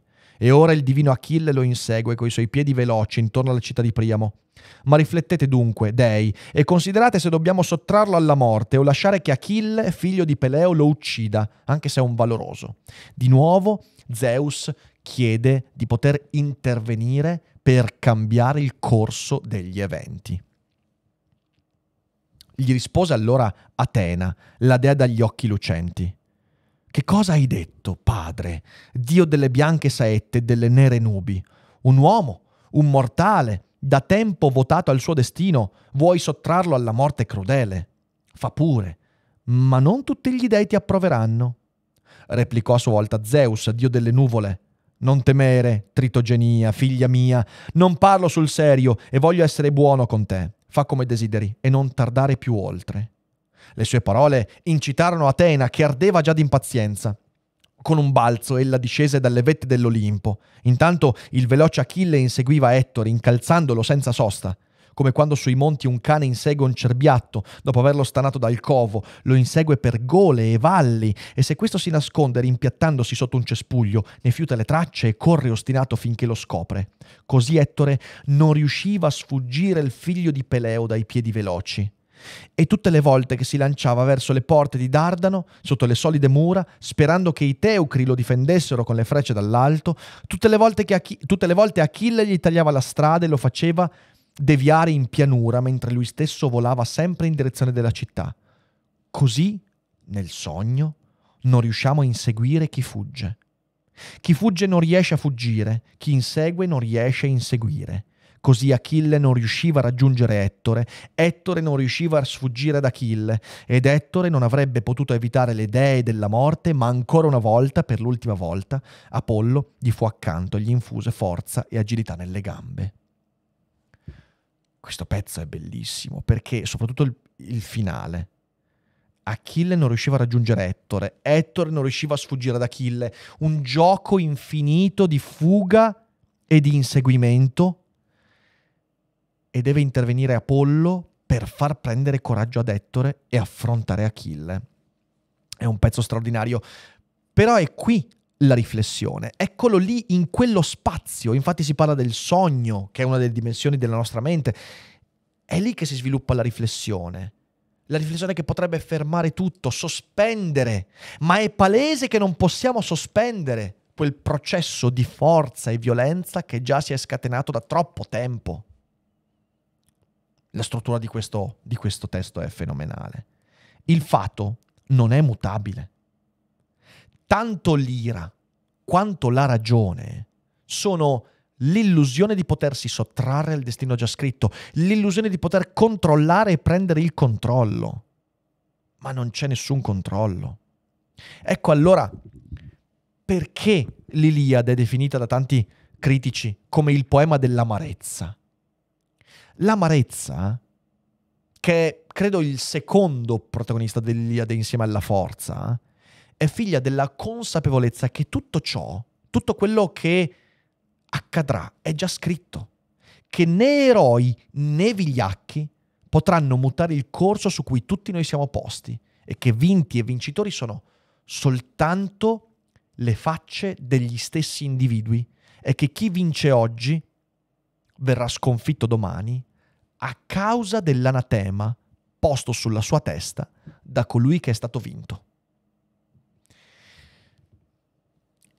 E direi che con questo possiamo concludere il secondo capitolo e tornare un po' alla chat. Siete ancora in tantissimi, è bellissimo trovarvi ancora così numerosi, grazie mille, vi faccio un applauso, siete una community meravigliosa, veramente, grazie. Allora, andiamo a leggere un po' di domandine, vediamo un po', vediamo un po'. Eh, non avete più fatto domande sul, nella, nella, chat, nella, nella, nel box blu. Non vedo domande nel box blu. Quindi significa che o sono stato chiarissimo, eh, oppure voi vi siete addormentati davanti alla live. Eh, chiede Enrico, forse uno spiraglio per giungere all'equilibrio è quello di conoscere se stessi. Allora, questo l'abbiamo trattato nella monografia sui presocratici. L'idea di conosci te stesso, come noi la concepiamo, nasce molto più tardi dell'Iliade. Bisognerà aspettare qualche secolo, Socrate. Eh, perché nel pensiero ellenico quelle, dell'epoca omerica, anche quella dei presocratici, non c'è l'idea che ci sia un te stesso che possa essere separato e distinto dal corpo. Eh, l'abbiamo visto con i presocratici, l'anima non è qualcosa che si porta dietro la propria individualità. L'anima anzi è un'opaca immagine che finisce nell'Ade e che ricorda solo vagamente la vita dell'individuo a cui era legata. Quindi dal punto di vista omerico non c'è neanche quello spiraglio. L'epica omerica è un'epica molto pessimista. Conoscere te stesso dal punto di vista di Omero non avrebbe nessun senso. Ovviamente dal mio punto di vista sì, dal suo no. Alejandro dice, quindi per i greci non esisteva il libero arbitrio, il destino di ogni essere umano era prestabilito. Beh, questo è assolutamente indubitabile. La ciclicità del tempo, l'ineluttabilità, l'inesorabilità degli eventi sono un elemento chiarissimo in tutta questa epica. Eh, uno spiraglio di libertà comincia a svilupparsi di nuovo, con Platone e successivi, ma prima è molto chiaro che non c'è neanche lo spazio per poter parlare di libero arbitrio. Eh, Spaperatore chiede: Siamo al corrente di testi greci andati perduti di importanza paragonabili all'Iliade? Eh no, se sono andati perduti, no, ci sono tanti testi di cui si parla, di autori, ovviamente tutta la tradizione, tutta la tradizione mh, orfica.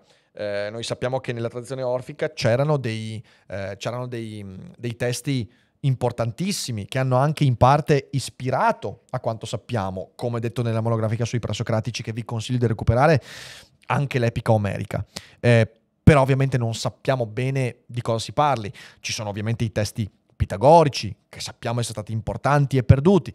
Quindi ci sono. Poi che fossero di importanza paragonabili a quelli dell'Iliade e dell'Odissea, questo non te lo so sinceramente dire. E Shadow Grafica chiede: Ma il, fa- il fatto che Zeus è il capo degli dei non vale proprio nulla? È il padre degli dei, Zeus. Ehm la gerarchia che c'è fra gli dei è una gerarchia un po' strana. Magari un giorno ci facciamo un daily cogito su quello che potrebbe essere più interessante, non, non spendo troppo tempo adesso su quello. Ultima domanda e poi passiamo all'ultimo capitolo. Ilsen chiede, tra l'altro, sbaglio gli dei non appoggerebbero Zeus nell'intervenire tra Achille ed Ettore proprio perché ciò implicherebbe violare la, eh, il destino? Sì, assolutamente, assolutamente. Sì, sì, beh, Zeus infatti non è che, non è che sono sempre d'accordo, anzi, Zeus spesso viene bacchettato dai suoi. E direi che possiamo passare all'ultimo capitolo. Allora, terzo capitolo. L'amarezza, la sofferenza, la pietà. Partiamo sempre con una citazione da Simone Weil.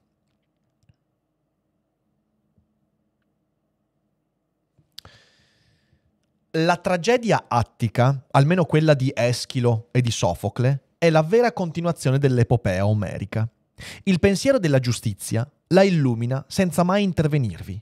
La forza vi appare nella sua fredda durezza, sempre accompagnata dagli effetti funesti ai quali non sfugge né chi ne fa uso né chi la soffre. L'umiliazione dell'anima sotto la costrizione non vi è mascherata, né avvolta di facile pietà, né additata al disprezzo più di un essere ferito da, dalla degradazione della sventura e offerto all'ammirazione. Il Vangelo è l'ultima e meravigliosa espressione del genio greco, come l'Iliade ne è la prima. Lo spirito della Grecia vi traspare non soltanto perché vi si ordina di ricercare, a esclusione di ogni altro bene, il regno di Dio e la giustizia celeste, ma anche perché vi è esposta la miseria umana, e questo in un essere a un tempo divino e umano. I racconti della eh, passione mostrano che uno spirito divino, unito alla carne, è alterato dalla sventura, trema davanti alla sofferenza e alla morte, si sente, al fondo dello sconforto, separato dagli uomini e da Dio. Il sentimento della miseria umana dà loro quell'accento di semplicità che è il marchio del genio greco e che costituisce tutto il pregio della tragedia greca e dell'Iliade. Certe parole rendono un suono stranamente prossimo a quello dell'epopea e l'adolescente troiano inviato ad Ade all'Ade, sebbene non volesse andarvi, torna alla memoria quando il Cristo dice a Pietro, un altro ti cingerà e ti condurrà dove non vuoi andare. Questo accento non è separabile dal pensiero che ispira il Vangelo, perché il sentimento della miseria umana è una condizione della giustizia e dell'amore. Colui che ignora fino a che punto la volubile fortuna e la necessità tengono ogni anima umana in loro potere, non può considerare come suoi simili né amare come se stesso quelli che il caso ha separato da lui con un abisso. La diversità delle costrizioni che pesano sugli uomini fa nascere l'illusione che ci siano tra loro specie distinte che non possono comunicare. È possibile amare ed essere giusti solo se si conosce l'imperio della forza e si è capaci di non rispettarlo. Ho scelto questa citazione non solo perché c'è questo strambo connubio fra l'Iliade e il Vangelo, testi separati da più di 700 anni di storia e, e separati anche da una differenza culturale decisamente importante. Ma perché io ogni volta che in passato, prima di leggere il testo della, de, de, della Veil, eh, avevo letto l'Iliade, non riuscivo a non pensare a questo tipo di affiancamento? E quando l'ho trovato nel libro della Veil ho detto, wow, seriously. Perché in fin dei conti l'idea secondo cui sul campo di battaglia non esistono vincitori né vinti, non esistono neanche nella storia umana vincitori o vinti, è la traduzione pre-cristiana del patto con cui Gesù cerca di eh, trasmettere l'idea che tutti sono figli di Dio. La equivalenza di tutti gli uomini di fronte a Dio, che è il connotato credo più rivoluzionario del cristianesimo all'interno delle religioni eh, monoteistiche, è nell'Iliade si trova 700 anni prima. E si trova il fatto che ad avvicinare gli esseri umani in questa concezione non è la vittoria, non è il successo, è l'angoscia, è la miseria, è la sofferenza, è il dolore, è la pietà. E la pietà sappiamo che è comunque considerata come una virtù nell'ambito cristiano e lo è palesemente anche nell'ambito dell'Iliade. La giustizia, l'idea di bene, c'è in Omero. È un'idea che traspare molto spesso fra le parole fra le righe. Ed è dal mio punto di vista anche, e non solo dal mio punto di vista, ne parla anche Heidegger e tanti altri, la nascita della metafisica occidentale. È l'idea che esista un mondo ideale, non come il paradiso o l'inferno. Noi sappiamo che l'Ade, nella tradizione omerica, è un, è un posto come tutti gli altri, non è un, un luogo spirituale, è un luogo dove si scende, si può visitare, puoi fare il biglietto come a Gardaland. Esiste un luogo ideale in cui giacciono le idee del pensiero, la giustizia, il bene, cose che poi ritroveremo nel, nel resto del pensiero greco, quattro secoli dopo con Platone. La giustizia c'è, il bene c'è solo che non intervengono. Non sono delle idee che abbiano un impatto sulla realtà. La saggia comprensione di ciò che andrebbe fatto non riesce mai a compiere il suo desiderio. Questa è l'amarezza che accompagna l'Iliade e questa è la tragedia della vita umana. E nella storia del pensiero occidentale eh, è come se nell'epica omerica ci fosse, passatemi il termine, l'invenzione di questo mondo ideale, che però ancora nell'epoca di Omero nessuno riesce a prendere e portare giù. Il mondo ideale rimane nel mondo degli dei sull'Olimpo, in un mondo che è ultraumano, ultraterreno, irraggiungibile. Bisognerà far passare secoli e secoli per arrivare alla filosofia. E cos'altro è la filosofia se non il tentativo di prendere quel mondo ideale e portarlo giù? E far sì che la riflessione intorno alla giustizia abbia finalmente un impatto sul mondo, che riesca a contrastare la forza la storia dell'Occidente è storia di un'umanità che cerca di prendere le idealità divine portandole giù sulla nostra terra. Cerca di prendere l'idea di giustizia e di usarla come specchio per conformare una società a quell'idea. Il mondo delle idee di Platone è questo. E dal mio punto di vista, poi sicuramente qualcuno sarà in disaccordo e ci mancherebbe qui la discussione aperta, però non avremmo mai avuto Platone senza Omero, senza le storie di Omero, perché le storie di Omero sono veramente la nascita della metafisica, che poi cerca di secolarizzarsi e di usare quelle idee distanti, inefficaci, eteree dell'Iliade, la giustizia, il bene, eh, il bello e di usarle per costruire una società a immagine di quelle idee. Questo forse è l'elemento che più di tutti gli altri parla di noi. Questo è il motivo per cui ho aperto la monografica dicendo guarda che questo è il poema fondativo dell'Occidente. Perché questa cosa qua, questa storia delle idee, non c'è in Oriente, non c'è in altre parti del mondo la tecnica nasce proprio come tentativo di portare nel mondo quelle idee che nella guerra di Troia non sono nel mondo, per allargare gli spazi di riflessione che impediscano alla forza caotica di dominare, di possedere tutti noi, al costo di eliminare Achille. Eliminando Achille, eliminare anche Ettore, evidentemente. Questo Nietzsche lo comprese perfettamente. Lo comprese quando definì il Dionisiaco come lo spirito che veniva espulso dall'Occidente. L'incapacità di incarnare Dioniso è parte integrante di quella storia. E ovviamente la domanda che ci viene posta è, siamo ancora noi capaci di sopportare l'esistenza di Achille e di Ettore, dell'Apollineo e del Dionisiaco? Questa è una domanda aperta, evidentemente, a cui io non ho risposta. Ho delle idee che discuteremo in altri ambiti, ma non ho la risposta. Ognuno deve trovarla in cuor proprio. Questo è il motivo per cui l'Iliade fonda la nostra cultura, parla di noi. Quanto Dioniso riusciamo a sopportare nella nostra vita, quanto Achille c'è nella nostra vita. E se siamo convinti di averlo espulso, siamo veramente convinti di averlo espulso.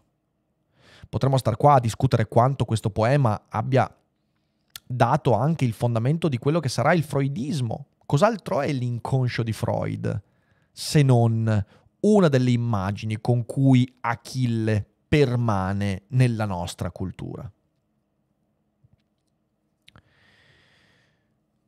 Leggiamo un passo dell'Iliade per far capire ulteriormente questo aspetto.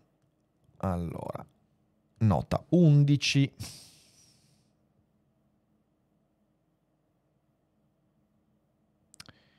Vediamo che se, se, dov'è che l'ho messa.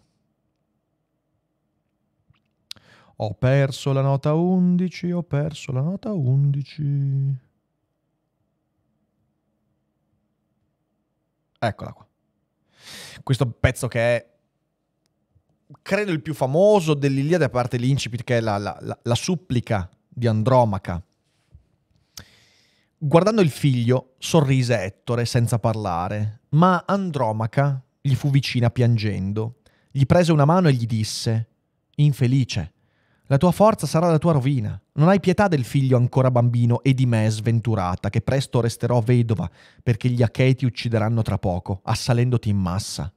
E se ti perdo, allora è meglio che muoia anch'io. Non ci sarà più conforto per me se il tuo destino si compie, solo dolore. Ho perduto mio padre e mia madre. Il padre me lo uccise Achille glorioso quando distrusse la bella città di Cilici, Tebe al- dei Cilici, Tebe dalle, dalle alte porte.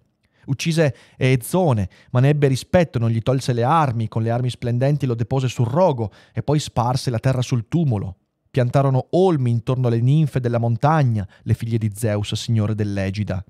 Sette fratelli avevo, nella reggia, e tutti nello stesso giorno scesero nell'Ade. Tutti li uccise il divino Achille dai piedi veloci, mentre sorvegliavano i buoi dalla lenta andatura e le candide pecore. Mia madre, che sotto il placo boscoso era regina, la condusse qui con tutti i suoi beni, poi la liberò a prezzo di ingente riscatto, ma Artemide, signora dell'arco, nella dimora di mio padre, la uccise. Tu, Ettore, tu mi sei padre e madre e fratello e sei anche il mio giovane sposo. Abbi pietà di me, resta qui sulla torre. Non fare del figlio un orfano, di me una vedova. Ferma l'esercito vicino al fico selvatico, dove è più facile attaccare la città, salire sulle mura. Per tre volte sono venuti a tentare l'assalto gli Achei più forti, gli Aiaci, Idomeneo glorioso, gli Atridi e il grande figlio di Tideo, spinti da qualche profezia o guidati dal loro stesso coraggio. Le rispose allora il grande Ettore dall'elmo splendente. Donna, so anch'io tutto questo. Ma terribile è la vergogna che prova davanti ai troiani e alle troiane dai lunghi pepli, se come un vile mi tengo lontano dalla battaglia. Me lo impedisce il mio cuore, perché ho imparato ad essere forte, sempre, a combattere coi troiani in prima fila, per la gloria di mio padre e per la mia gloria. Io lo so bene nel cuore e nell'animo. Verrà il giorno in cui perirà la sacra città di Ilio e con essa Priamo e la gente di Priamo dalla lancia gloriosa. Ma al dolore dei troiani io non penso. Non penso ad Ecuba, al re Priamo, ai miei valorosi fratelli che cadranno nella polvere uccisi dai nemici. Io penso a te, a quando qualcuno degli Achei vestiti di bronzo ti priverà della tua libertà e ti trascinerà via in lacrime, a quando in argo dovrai tessere stoffe per un'altra donna o porterai acqua delle fonti Messeide o di Iprea contro il tuo volere, costretta dalla dura necessità. E forse qualcuno dirà, vedendoti piangere, è la sposa di Ettore, che fra i troiani domatori di cavalli era il più forte quando si combatteva intorno ad Ilio. Così diranno un giorno. E sarà un nuovo dolore per te, privata di un uomo che avrebbe potuto tenerti lontano il giorno della schiavitù. Ma possa io morire, possa ricoprirmi la terra prima che ti sappia trascinata in schiavitù, prima che debba udire le tue grida. Vedete, tutti sanno cosa accadrà ma sanno anche che nulla può impedire che accada. L'amarezza nelle parole di Ettore e di Andromaca è legata al fatto che sanno cosa accadrà e sanno che nessuno può fare nulla per impedirlo. La preghiera di, Andom- di Andromaca è la riflessione, è l'atto di dire guarda che so cosa succederà ma è la consapevolezza che questo pensiero sta sempre un passo indietro rispetto agli eventi. Omero ci racconta la sopravvalutazione del sapere, che è una cosa che dopo Omero l'Occidente cercherà continuamente di combattere. Perché? Perché di nuovo dall'Iliade in poi l'Occidente cerca da sempre di far sì che il sapere possa anticipare il destino. Qualcuno potrebbe chiamarla hubris, qualcuno potrebbe chiamarla scienza, qualcuno potrebbe chiamarlo secolarizzazione, evoluzione. Fatto sta che tutto nasce lì, tutto nasce da questo, da questo dialogo familiare, semplice, fra Ettore e Andromaca, fra lo sposo e la sposa fra due amici. E Andromaca fa una domanda che non può trovare risposta. Perché te ne vai in battaglia sapendo quello che accadrà? La risposta è perché è già tutto accaduto e posso solo prendermene la responsabilità. Questo è quello che dice Ettore. È già tutto accaduto. E vedete, questo pensiero angoscioso, terribile, ci ricorda che non dobbiamo sopravvalutare il sapere e che il fatto di sapere, di conoscere, di avere strumenti, non ci sottrarrà dal fatto che le cose sono già accadute. Ed è per questo che nella storia della filosofia Nietzsche e poi Heidegger diranno che la metafisica è stato una sorta di grande errore e che poi alla fine ritorniamo sempre lì, ritorniamo sempre a dover dire ok, tutto ritorna, inevitabilmente. Tutto è inesorabile. Non importa quali strumenti, quali armi, quali libri, quali saggi, quali consapevolezze, tutto ritorna.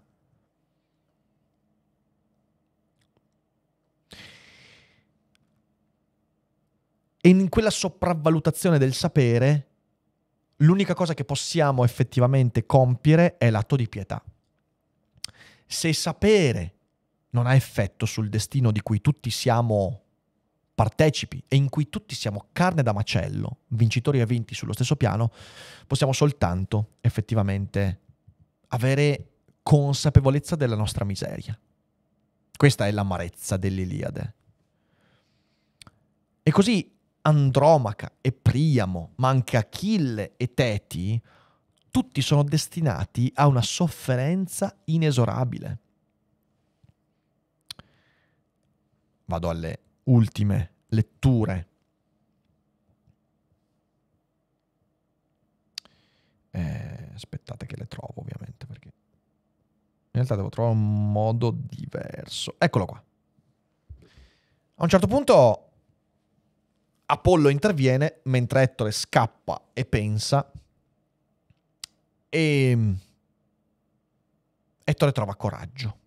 Si volta, smette di fuggire e dice non fuggirò più davanti a te. figlio di Peleo, come prima quando per tre volte ho corso intorno alla grande città di Priamo e non avevo animo di aspettare il tuo assalto. Adesso invece sento in me il coraggio di starti di fronte. Ti ucciderò o mi ucciderai. Ora però giuriamo davanti agli dei, che saranno i testimoni migliori e i garanti del nostro patto. Io non strazierò il tuo corpo in modo indegno, se Zeus mi concederà di vincere e di toglierti la vita. Ti spoglierò delle tue armi gloriose, Achille, ma il tuo corpo lo restituirò agli Achei. Anche tu restituisci il mio. Guardandolo con odio, gli rispose Achille dai piedi veloci. Ettore, dannato! Non parlarmi di patti! Non esistono accordi fedeli tra uomini e leoni, e lupi e agnelli non hanno animo eguale. La discordia è fra loro per sempre. Così anche fra me e te, amicizia non vi sarà mai. Non vi saranno patti fra noi, prima che l'uno o l'altro muoia e sazi col suo sangue Ares, l'indomabile dio della guerra. Fa appello al tuo valore. È adesso che devi mostrarti un audace e valoroso guerriero. Non hai più scampo, perché Pallade Atena e la mia lancia ti abbatteranno. Pagherai in una sola volta il lutto per i compagni che hai ucciso con furia dalla tua lancia. La mancanza di misericordia è ciò che rappresenta l'atto finale della forza indomabile di Achille. Ecco perché la forza è disumana perché l'umano è la dimensione della misericordia e della pietà. L'umano è guardare il mio nemico e dire non è mio nemico. Siamo uguali. La forza è destinale, preumana, divina, perché ci impedisce di vedere questo. La forza ci possiede, ci trasforma in zombie, obbedendo a un istinto e trasforma l'altro in hostis, non più in un mio simile rivale, ma in qualcosa di disumano di altro, leone e pecora, agnello e lupo, due specie diverse. Questa è la menzogna che Achille si deve raccontare per non accorgersi di quanto Ettore gli sia simile. L'unico modo per far sì che Achille uccida Ettore è mantenere vivo quell'odio prepersonale, istintivo, bestiale, che deve per forza promettere ad Ettore che se morirà verrà straziato. È la rottura di qualsiasi patto, è la rottura di qualsiasi convenzione, è la distruzione di tutto ciò che effettivamente ha a che fare con ciò che è umano. Non ci può essere patto e il patto è proprio ciò che è umano. E poi allora arriva l'altra lettura, che adesso vi trovo. Eh, forse trovo, aspetta un attimo. Eccola qua. Achille fa secco Ettore, comincia a trascinarlo sulla biga davanti alla città di Troia. E le donne, la madre di Ettore, le donne di Troia cominciano a urlare in modo straziante. E queste urla raggiungono Andromaca. E scrive Omero. Ma la sposa di Ettore nulla ancora sapeva. Nessun messaggero fidato era venuto ad annunciarle che fuori dalle porte era rimasto il suo sposo. Lei tesseva una tela nel cuore dell'alto palazzo, una tela di porpora, doppia, e vi ricamava ogni sorta di fiori.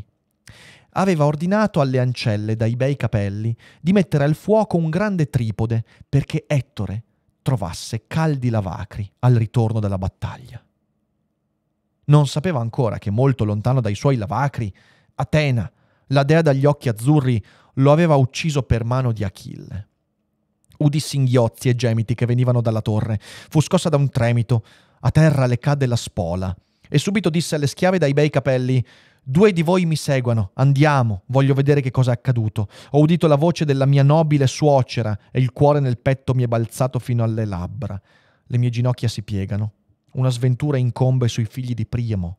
Non vorrei sentirmi annunciare questa notizia, ma temo, temo che Achille divino, abbia tagliato fuori dalla città il valoroso Ettore, solo, e che lo insegua nella pianura e riesca a stroncare quell'audacia indomabile che lo possiede.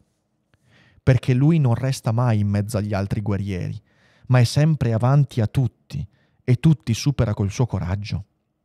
Disse così, e si lanciò fuori dalle sue stanze come una pazza, il cuore in tumulto. Andavano insieme a lei le ancelle, quando giunse alla torre in mezzo alla folla. Si arrestò sulle mura guardando intorno e lo vide, trascinato davanti alla città. I cavalli veloci lo portavano indegnamente verso le concavi navi dei Danai. È un, è un pezzo devastante questo, devastante perché pur sapendolo, pur avendoglielo detto e, e, e sapendo quello che sarebbe accaduto, Andromaca è a casa a tessere, a, fa- a preparare un bagno caldo ad Ettore. Un bagno caldo. Nessuno arriverà per quel bagno caldo. Non sapeva che an- molto lontano dai suoi lavacri, lontano da casa, lontano dalla dimensione di casa. Scusate, ma è un pezzo che mi, mi, mi, mi muove molto questo perché, perché è un pezzo proprio vero, cioè nel senso accade ancora tutto questo. Cioè vorrei che ci rendessimo conto che questo accade. Accade che la forza, il destino trascina la vita degli uomini lontano dai bagni caldi. I bagni caldi, la quotidianità, il caminetto acceso, il Natale in famiglia. Quelle cose di cui dobbiamo avere cura e che a un certo punto ci vengono sottratte perché la forza ha scatenato qualche cosa. E l'amarezza sta nel sapere che tutto andrà come è sempre andato. Non tutto andrà come deve andare, come è sempre andato. Perché la storia è un ciclo che si ripete e questa è l'amarezza. E quello che Nietzsche dirà nella Gaia Scienza, puoi tu guardare in faccia la consapevolezza di essere un granello di sabbia in una clessidra che viene sempre rovesciata e di aver vissuto infinite volte quello che stai vivendo. Hai quella forza. Omero risponde con l'amarezza. Ed è proprio in base al fatto che questa amarezza accomuna tutti che Achille nel libro ventiquattresimo acconsente alla supplica di Priamo. Ovviamente questo è un brano che non potevo non leggervi perché è un altro brano straordinario, di straordinario valore e che conclude questa grande epica. Allora, lasciate che ve lo legga e poi passiamo al finale della live. Io sono un dio vecchio, un immortale. Io sono Hermes ed è mio padre che mi ha mandato a te come guida. Ora tornerò indietro. Non mi farò vedere da Achille. Non è bene che un dio immortale mostri così apertamente il suo affetto per gli uomini. Ma tu entra. Abbraccia le ginocchia del figlio di Peleo. Pregalo in nome di suo padre, di sua madre, dai bei capelli e del figlio, così che tu possa commuovere l'animo suo. Dopo aver detto queste parole, tornò al vasto Olimpo il dio Hermes e Priamo scese a terra dal carro, lasciò Ideo a sorvegliare muli e cavalli e si diresse alla tenda dove sedeva Achille, amato da Zeus. Lo trovò che era solo. Stavano in disparte i compagni. Due di loro soltanto, l'eroe Automedonte e Alcimio, stirpe di Ares, gli si affaccendavano intorno. Egli aveva appena finito di mangiare e di bere. La tavola era ancora apparecchiata. Entrò il gran re, senza essere visto, e quando fu accanto ad Achille gli abbracciò le ginocchia e gli baciò le mani. Le mani terribili che tanti figli gli avevano ucciso. Come quando un'acuta follia travolge un uomo che in patria ha commesso omicidio e si rifugia in terra straniera, nella casa di un uomo ricco, e coloro che lo vedano restano attoniti. Così Achille restò stupefatto nel vedere Priamo simile a un dio. Stupirono tutti, guardandosi gli uni con gli altri e Priamo si rivolse a lui con le parole di supplica. Ricordati di tuo padre, divino Achille, tuo padre che ha la mia stessa età e delle soglie della triste vecchiaia, e quelli che vivono intorno forse lo insidiano, e non c'è chi lo difenda dalla sventura e dalla rovina. Ma lui almeno si rallegra in cuor suo sentendo che tu sei vivo, e di giorno in giorno spera di rivedere suo figlio di ritorno da Troia. Ma la mia sventura è immensa. Ho messo al mondo valorosi figli nella grande città di Troia, e di loro non me n'è rimasto nessuno. 50 ne avevo, quando giunsero i figli dei Danai. 19 erano figli di una sola madre, gli altri nacquero da altre donne nella mia reggia. A molti di loro Ares ardente ha tolto la vita. L'unico che mi restava, colui che proteggeva la città e i cittadini, Ettore. Tu l'hai ucciso mentre difendeva la patria. È per lui che io ora vengo alle navi dei Danai per riscattarlo e porto doni infiniti. Abbi rispetto degli dei, Achille, e abbi pietà di me ricordando tuo padre. Io sono ancora più sventurato, io che ho osato, come nessun altro fra i mortali su questa terra, portare alle labbra le mani dell'uomo che ha ucciso mio figlio. Così parlò Priamo, e in Achille fece sorgere il desiderio di piangere per suo padre. Prese il vecchio per mano e lo scostò da sé dolcemente. Tutti e due ricordavano. Priamo ai piedi di Achille, piangeva per Ettore, uccisore di uomini, e Achille piangeva per suo padre e piangeva anche per Patroclo. Alto si levava dentro la tenda il lamento. Ma quando Achille glorioso fu sazio di lacrime, quando il desiderio di pianto abbandonò le sue membra e il suo cuore, allora si levò dal seggio, prese il vecchio per mano e lo fece alzare, e compiangendo i capelli bianchi e la bianca barba del vecchio, si rivolse a lui con queste parole. Infelice quante sventure hai patito nell'animo. Come hai osato venire alle navi dei Danai da solo, presentarti agli occhi dell'uomo che ti ha ucciso tanti figli valenti?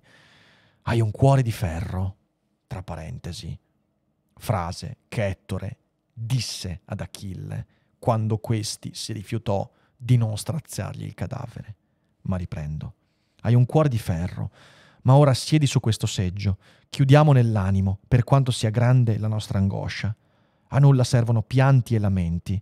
Hanno stabilito gli dei che gli infelici mortali vivano nel dolore, mentre loro non conoscono affanni. Nella dimora di Zeus vi sono due grandi orci che si dispensano l'uno i mali, l'altro i beni. Li mescola il dio delle folgori, e colui a cui ne fa dono riceve ora un male, ora un bene.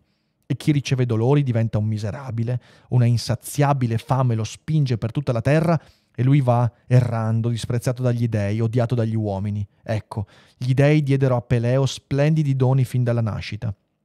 Era superiore a tutti gli uomini per ricchezza e fortuna, era re dei Mirmidoni e, benché fosse mortale, gli diedero come sposa una dea. Ma poi gli inflissero anche una sventura, perché nel suo palazzo non sono nati figli destinati a regnare, un solo figlio è nato, dal breve destino, e io non sono lì per avere cura di lui nella sua vecchiaia. Sono qui a Troia, molto lontano dalla mia patria. Sono qui per la rovina tua e dei tuoi figli. E anche tu, vecchio, lo sappiamo, eri felice un tempo. Nella terra racchiusa fra Lesbo, sede di Macaro, la Frigia, il Vasto e l'Esponto, eri superiore a tutti, per la tua ricchezza per i tuoi figli. Ma poi gli dei celesti ti hanno inflitto questo dolore, di vedere intorno alla tua città battaglie e carneficine. Fatti forza e non tormentarti senza tregua nell'animo. A nulla ti servirà piangere su tuo figlio, non lo farai rivivere e forse dovrai patire qualche altra sciagura. E poi, ovviamente, acconsente a riconsegnare il corpo di Ettore a Priamo, mosso dalla pietà. Sapete quanto io sia poco religioso, anzi, proprio per niente. Però in questo testo trovo quel sentimento cristiano della pietà, intesa non come misericordia gratuita che segnala agli altri la virtù, ma come evidenza secondo cui io e te, che ci siamo odiati, siamo esattamente la stessa cosa. Perché siamo accomunati dal limite inevitabile della vita del fatto di essere indecidibili, del fatto di essere pervasi da un destino inesorabile. Ora io non voglio entrare nelle mie interpretazioni di queste idee perché non è, non è l'ambito, non è il contesto giusto. Però credo che questa sia una delle idee più fenomenali mai partorite dall'umanità, un'idea che troppo spesso dimentichiamo e che dimenticando ci permette di tra- trasformare l'altro in qualcosa di disumano. L'Iliade ci ricorda che persino Achille, pervaso dall'ira funesta, incapace di ragionare, incapace di riflettere, assassino di decine e centinaia di giovani, uccisore di Ettore, straziatore del suo cadavere, poteva riconoscere in Priamo se stesso, ovvero fare quella cosa che soltanto Patroclo era riuscito a compiere, fargli sentire la propria umanità. L'Iliade è un testo che cerca di farci sentire la nostra umanità. Ed è per questo che andrebbe letto. Per commuoversi, per ricordare che in 2700 anni di storia una cosa non è cambiata. Siamo ancora quegli stessi miserabili, incredibilmente belli e affascinanti, che perdono il controllo del proprio destino e che devono vivere la vita il più possibile accanto ai propri pensieri e ricordandosi che in fin dei conti anche il mio peggior nemico è semplicemente un altro miserabile come me. E questa è l'amarezza, l'amarezza della Iliade. E abbiamo finito qua. Grazie a Goyu che ha appena regalato 10 abbonamenti, grazie a Malefico Sintrip per 5 abbonamenti regalo, grazie a Mr. Bock per un abbonamento, un altro abbonamento regalo, grazie a Giovanni, Giacomo, Mark per gli abbonamenti. Sono molto contento che questa monografica vi sia piaciuta, direi che il numero di abbonamenti sottoscritti e regalati vi è piaciuta e vi ringrazio per aver ascoltato, siamo an- ancora più di 400 persone alle 23.30, questa monografica è durata molto di più rispetto a quanto mi ero immaginato, ma durante la monografica ho dovuto dire un sacco di cose che non avevo minimamente pianificato. Ehm, provo a vedere un attimo velocemente se ci sono delle domande. Eh, Alejandro chiede se a livello filosofico non esisteva il libero arbitrio nell'antica Grecia, Gesù e successivamente il cristianesimo, da cosa hanno derivato tale concetto? Beh, è molto difficile rispondere a questa domanda. Um, anche di tante interpretazioni. Eh, diciamo che soprattutto il neoplatonismo di fatto produce il concetto di individuo, che però secondo me inizia a esistere già da prima. Il concetto di individuo, il concetto di soggetto autonomo, secondo me nasce con il conosci te stesso di Socrate e poi si evolve nell'idea di individuo più o meno nell'epoca nell'epoca dei Seneca, nell'epoca dei Marco Aurelio e poi appunto dei Plotino, neoplatonismo e via dicendo. Da quello prenderà fortissimamente il cristianesimo per creare e produrre l'idea di libero arbitrio. Però, di nuovo, eh, bisognerebbe fare veramente una lunghissima monografia solo su questo. Eh, non potrebbero essere le prigioni, il sistema penitenziario la consapevolezza di dover vivere con la parte dionisiaco dell'essere umano? Angie, non credo di aver capito la tua domanda, non, credo di aver capito, non capisco qual è il nesso fra le prigioni e il dionisiaco, mi dispiace. Però io ho anche finito la benzina, ragazzi. Quindi eh, ho visto che c'erano altre domande, ma sono veramente finito. Eh, spero che sia stata una bella monografica. Io sono stato emozionato di poter riportare, cioè è, posso dirlo, è un grande privilegio poter trascorrere due ore e mezza insieme parlando di cose così e leggendo testi di questo tipo. Ehm, da oggi in poi le monografiche tenteranno sempre di replicare questo tipo di, di spirito, eh, anche con opere minori, eh, perché mi piace emozionarmi con voi vedendo anche quanto voi riuscite a trarre da questo tipo di contenuti. Io vi ringrazio veramente tantissimo per aver seguito. Eh, noi ci rivediamo domani alle 18 con Gennaro Romagnoli, quindi torna un grande amico, parleremo del suo libro e di psicologia e magari verranno fuori anche argomenti emersi durante questa serata. Eh, grazie mille a tutti, eh, grazie per gli abbonamenti, grazie per il sostegno, continuate a seguirci, io vi abbraccio e niente, siete bellissimi, siamo bellissimi, siamo una delle community più belle della storia del mondo e lo siamo sempre stati e lo saremo sempre. Buonanotte.